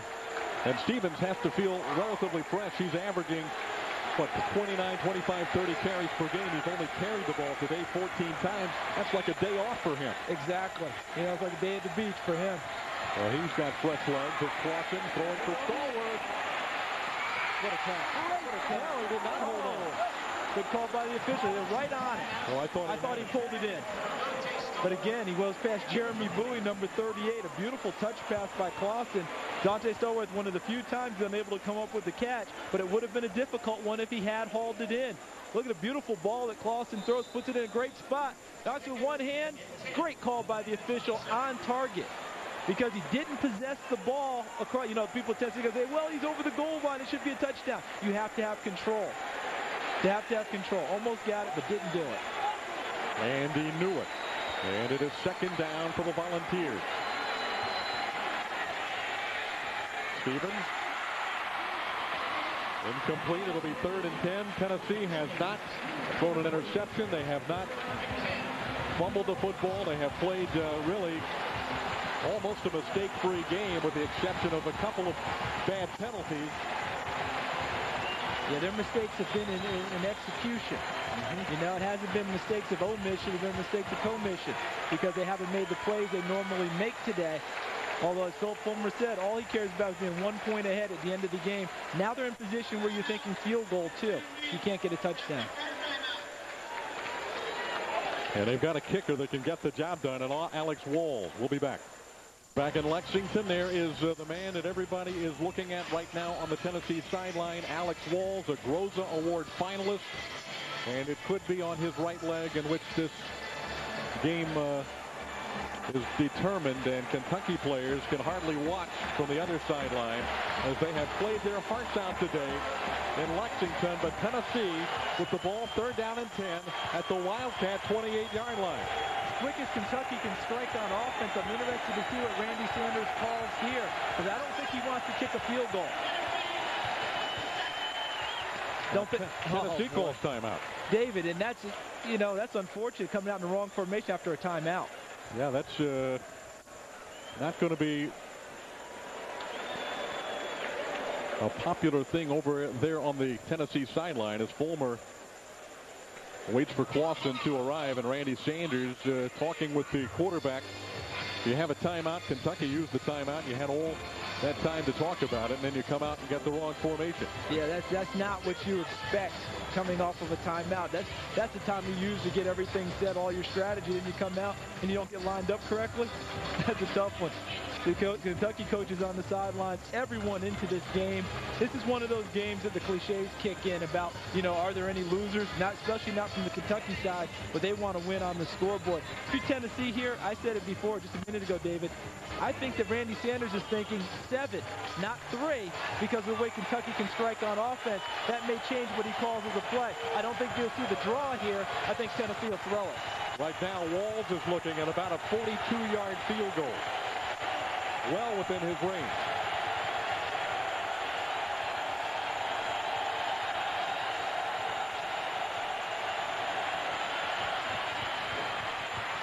Incomplete.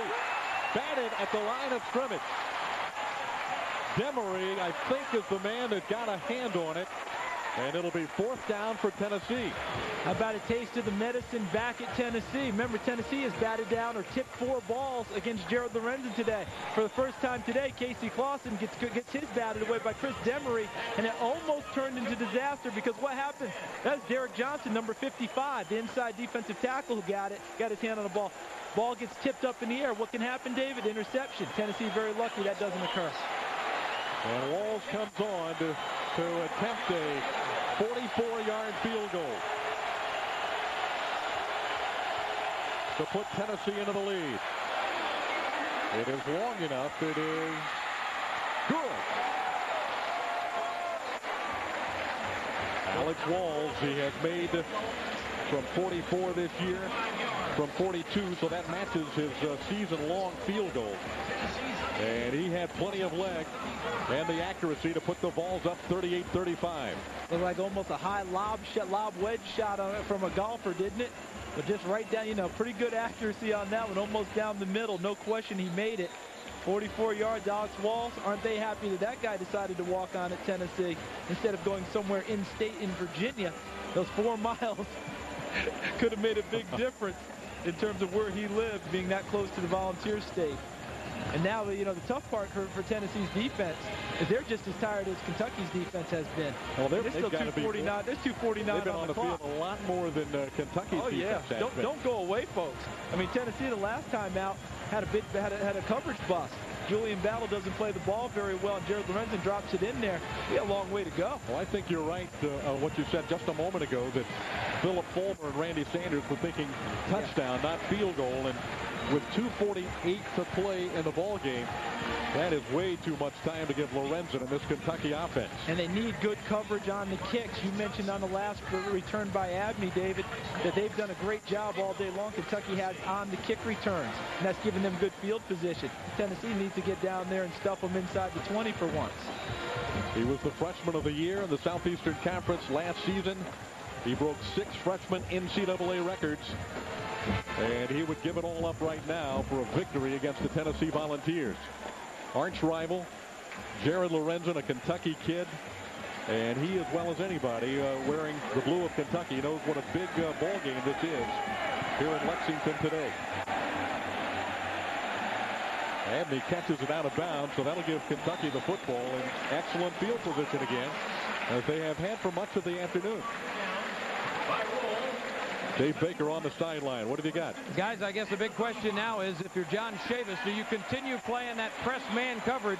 And Jared Lorenzen has shown an ability to make the right decision against the man when he's got one-on-one -on -one coverage. Or do you go to the dreaded prevent that uh, many who follow football hate in the final minutes of games like this one? Well, and let's go back to the Georgia game, Dave, and talk uh, a little bit about prevent defense, Charles no, Davis. No prevent. I don't see Tennessee doing that. They've been in that spot before. They might play what they call cover one, and when they go man-to-man, -man, leaving a free safety out in the middle of the field to hopefully cover up any mistakes. But I don't see them going backing off and giving Lorenzen time. Abney unable to bring it in. It'll be second and 10. What I just saw on that possession, on that snap, was a two deep zone. Two, two, two, two guys deep, five men under, trying to cover up on the shorter routes and keeping two safeties deep just in case something breaks. I really don't, yeah, I cannot imagine John Chavis going to prevent in this situation. He wants to still bring pressure up front. Let's see if Big John Henderson or Haynesworth or Overstreet up front can rush the passer. The protection for Lorenzen. He goes to Abney. Abney brings it in at the 49-yard line of Tennessee. A first and 10 for the Wildcats with 2.31 to play. It has to happen with this type of coverage for Tennessee. Because they've got to play hard on the corners and not let the receivers get free releases. Tennessee has a, has a player down. Another big catch by Abney. And Albert Haynesworth, who's been playing very well today for Tennessee, he's down on the turf now for the Vols. He's been playing well the last four or five weeks for the Volunteers. You couple him with uh, Big John Henderson in the middle for Tennessee. And they are certainly one of the better defensive tackle combinations in the Southeastern Conference. But now Haynesworth is on the field with 2.31 to go. And his team trying to keep Kentucky out of the end zone. The Wildcats now over the midfield stripe at the Tennessee 48-yard line. You have to start thinking uh, field goal now for them as well with Seth Hanson, the left-footed kicker for the Wildcats. Only thing about Seth Hanson, his long field goal of the year has been 37 yards. I think he's got more leg than that. Well, his That's career long is 55. Yes, so. he's got he's got enough leg if they get him into a spot. Sure. But he hasn't had to kick a game winner yet this year. Haynesworth able to jog off the field under his own power. But uh, the bad news for Tennessee is he has to come off the floor, off the field, and it's big number 58 checking in for him, John Moore, who has made some big plays Has- today. He has, and but we have not heard Big 98's name called in a while, making a big play collapse in the pocket. Here's where they need the senior All-American to make one. at Kentucky's O-line, they've got a pass block better than they ever have. Lorenzen, that uncanny ability to scramble free, but the pass is incomplete at the 25-yard line. Intended for Cook.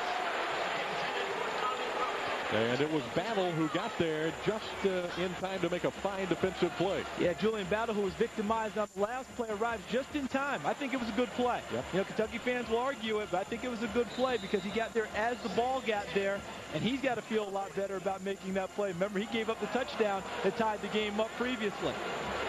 So, you know, even, even the Boo Birds are somewhat muted after having seen it on the big screen. It was a good play by Julian Battle, being able to keep his focus after being burned before. Now this second down play in 10 from the Tennessee 48. Kentucky with five receivers out, and they toss it to Harp. The tight end, first down, he fumbles. Tennessee's got it at the 31-yard line. And uh, it's volunteer football. Well, it was very close for Harp to his knee being on the field. But Tennessee has it as it popped loose. And the balls take over a big play for the Tennessee defense. Remember, they stripped Dougie Allen of the ball earlier and didn't get the call. Now Chase Harp going downfield. There's a tackle downfield. You see Andre Lott, number 30, involved in it also. And Will Overstreet, the defensive end who had rushed the passer, turned around and ran downfield and recovered the fumble. Good hustle by John Chavis's defensive line. And clearly the right call on the fumble. Tennessee with possession Yeah, and a three-point lead. Chase Harp caught a touchdown pass earlier, David. Remember, he dropped one in the end zone, got hurt. and Now had a chance to make amends and ends up fumbling on that play. And it's Travis Stephens' time as he steamrolled Anthony Wajda and picks up a big Tennessee first down. We are at the two-minute mark. Kentucky has only one timeout remaining, and Tennessee protects a three-point lead in Lexington. Now Phillip Fulmer, the ex-offensive line coach as the head coach, is telling Mike Barry, his, uh, his guards and tackles and centers coach, I mean centers and guards coach, and Doug Marrone, his tackles and tight ends coach, I want people knocked off the ball right now. I want two hands on the ball for my running backs. I want to run this clock out. This is what Tennessee did to South Carolina last year at South Carolina, where Travis, uh, Travis Henry went in for the winning touchdown. Now they just want to protect the lead. And here's the man that can do it as Stephens stays on his feet across the 45. I think they're going to say his knee hit the turf at about the 46-yard line. Jeremy, Jeremy Bowie tripped him up. But it'll be second down, and the clock continues to run. Kentucky can only stop it one time. And the Wildcats, who have fought their hearts out today in the Commonwealth of Kentucky. The offensive players can only watch from the sideline and uh, perhaps dream about what might have been. And they have to make a play here. They have to try and knock the ball out of Travis Stephens' hands, but sometimes something can pop, you know, if, if you get through the front wall because Kentucky's going to stuff the offensive front. Stephens, who, in addition to being able to pick up a lot of yards uh, with a lot of carries, does not have a reputation as a fumbler. He he keeps possession of that football. And I was wondering when Kentucky was going to use that timeout. and there it is with 45 seconds to play. And Tennessee clinging to a three-point lead in Lexington.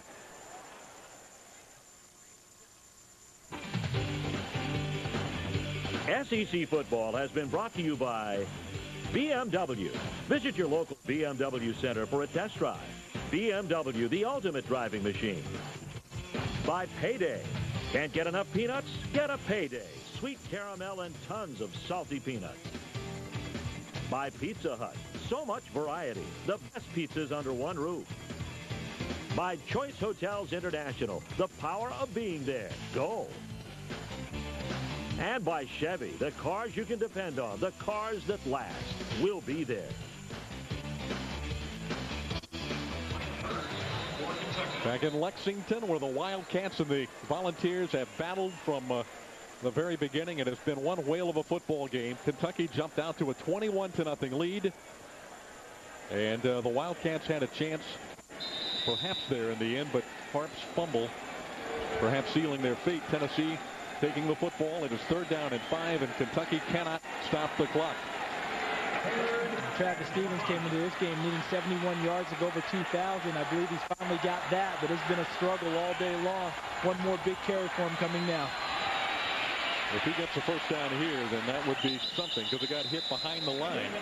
And now the clock doesn't stop because Kentucky can't stop it, so Tennessee will run it all the way down as far as they can. The play clock has not started. Now it does. There's four seconds difference between the play clock and the game clock. As you see both of them in your uh, screen, Travis Stephens unable to get the first down, but time is on the Volunteers side. And uh, you can't say enough about the effort Lorenzen was tremendous today. So was Casey Clausen for Tennessee. Yeah, both, both of them were just fantastic. Both of these teams' efforts were fantastic. Tennessee did not come ready to play, David. They were not ready to go in the beginning of the ball game. Well, I thought there was four seconds uh, between those two clocks, but it turned out to be only one. Man, we had a disparity earlier in the game. There may be more time on the field than there is up on the scoreboard. Here comes an announcement now. See? Five seconds. See, that's what happened earlier. You know, we, that's that's why the official time is kept on the field by the by the head of referee. But both of these teams deserve a lot of credit. Tennessee wasn't ready to go in the beginning. Kentucky was. Mm-hmm. And then it flipped around. Well, now it's time to look at the BMW Ultimate Drive of the game, brought to you by BMW, the ultimate driving machine. The Tennessee Volunteers needing a touchdown late in the football game. A two-play drive culminating in the Stallworth 39-yard touchdown catch from uh, Casey Clausen. And that is our BMW drive of the game. The Tennessee Volunteers on the ropes here in Lexington. That's what great teams do, Charles Davis. They find ways to win. Yeah, they and they they found a way. You know, down 21 to nothing. We did say they'd been there before, David. No panic on Phillip Fulmer's side. Of course, they were pretty forceful at the half. I'm sure they were to try and wake the kids up and get them some get them to get their attention. And they obviously did that. Colquitt booms it. Abney. Got to tackle him now. He's one of the best. this guy's something else. There's a lateral, and I believe it's a, uh, they didn't call forward on that, so let's see how it plays out. Penalty on the play, and that's ball game. Yep. Penalty will be, I think, against Kentucky for a block in the back, and so the football game is going to be over. And what a football game it was in Lexington. Phillip Fulmer's Tennessee Volunteers given all they can handle by Jared Lorenzen and the Kentucky Wildcats, but Tennessee holds on to their credit. A close victory, but it counts in the win column nonetheless. And Tennessee now has won 17 in a row against the Kentucky Wildcats. The previous five times, Tennessee has won by an average of at least four touchdowns. It's the first time they have not scored 50 points in the last six times these two teams have met. Hard-fought victory. Came from 21 points down, was it 21-14 uh, at the half? so, I mean, you know, this, has just been a heck of a it. Larry Ivy, the athletics director at Kentucky with Guy Morriss. He's the guy who's going to make the call on whether Guy Morriss retains this job. I have a feeling he will. Well, a great effort by his team. His coaching staff had a wonderful plan. They come up short against a great football team in the Tennessee Volunteers. Let's go to the sideline in the field. Dave Baker standing by with a winning head coach this afternoon. Dave? Thanks, David. Philip, you said at halftime you just needed one more than uh, than they had, and boy, what a comeback you guys had the second well, half. we had a heck of an effort by our offensive team. Uh, I knew coming in here, you know, that, that they're good. They're really a good offensive team. I knew it'd be a challenge. I didn't think it'd be this big a challenge, but you got to give their kids a lot of credit and their staff. They had them ready to play, and I'm proud of our kids. You know, fought back and got it done. That's what it's about. One thing on the sidelines that I saw this afternoon, there wasn't any panic this afternoon when you when you got down by the three touchdown. Everybody really kept about their knit. Yeah, we did. We I, I thought the, side, the, the sideline was really good. The the dressing room was great. You know, we talked about all of the the possibilities. Obviously, they had a hard time covering us, and we knew that coming in that they'd have a hard time covering us, and we darn sure had a hard time covering them a lot. So that big old quarterback special, you know, and um, I'm, I'm anxious to see the film and see what all we can do to get better. But it's a good win. You can throw the records out of the out of out of the house when you play uh, Kentucky. Coach, congratulations. Appreciate the time. Take care. Casey Clausen is here with us right now. Casey, uh, big comeback for you guys this afternoon. Obviously, you were down. You found some situations that you could take care of in a man-on-man uh, in the second half. Yeah, uh, we knew, you know, coming in the game, we got to make some big plays offensively. And uh, the first half, we basically just stunk it up. Uh, we really couldn't get in a rhythm, and uh, you know, we need to open it up, spread the ball out a little bit. And second half, we did that. obviously, you know, we can't come into games like this and play the way we, we played. Uh, make a lot of credit to Kentucky and the way they played, but uh, we're fortunate to win this game. We got to go back to practice field. We got to get a lot better.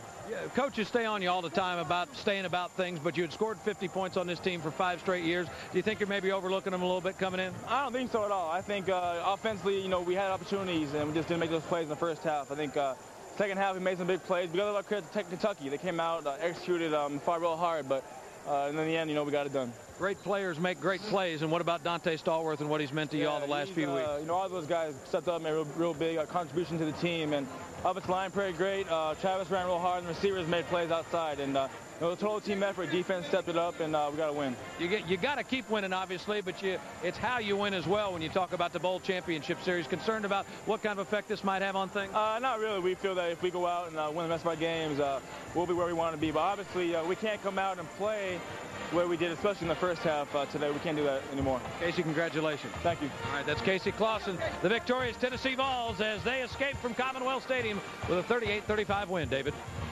Thank you, Dave. That Kentucky team with those 22 seniors giving it all they've got today against a fine Tennessee football team. And that was one of those seniors, 55, Derek Johnson, walking off the field with his brother. And both played outstanding football today, but Tennessee comes away with the victory. 38 to 35 in the final from Commonwealth Stadium. Back after a word from our local stations.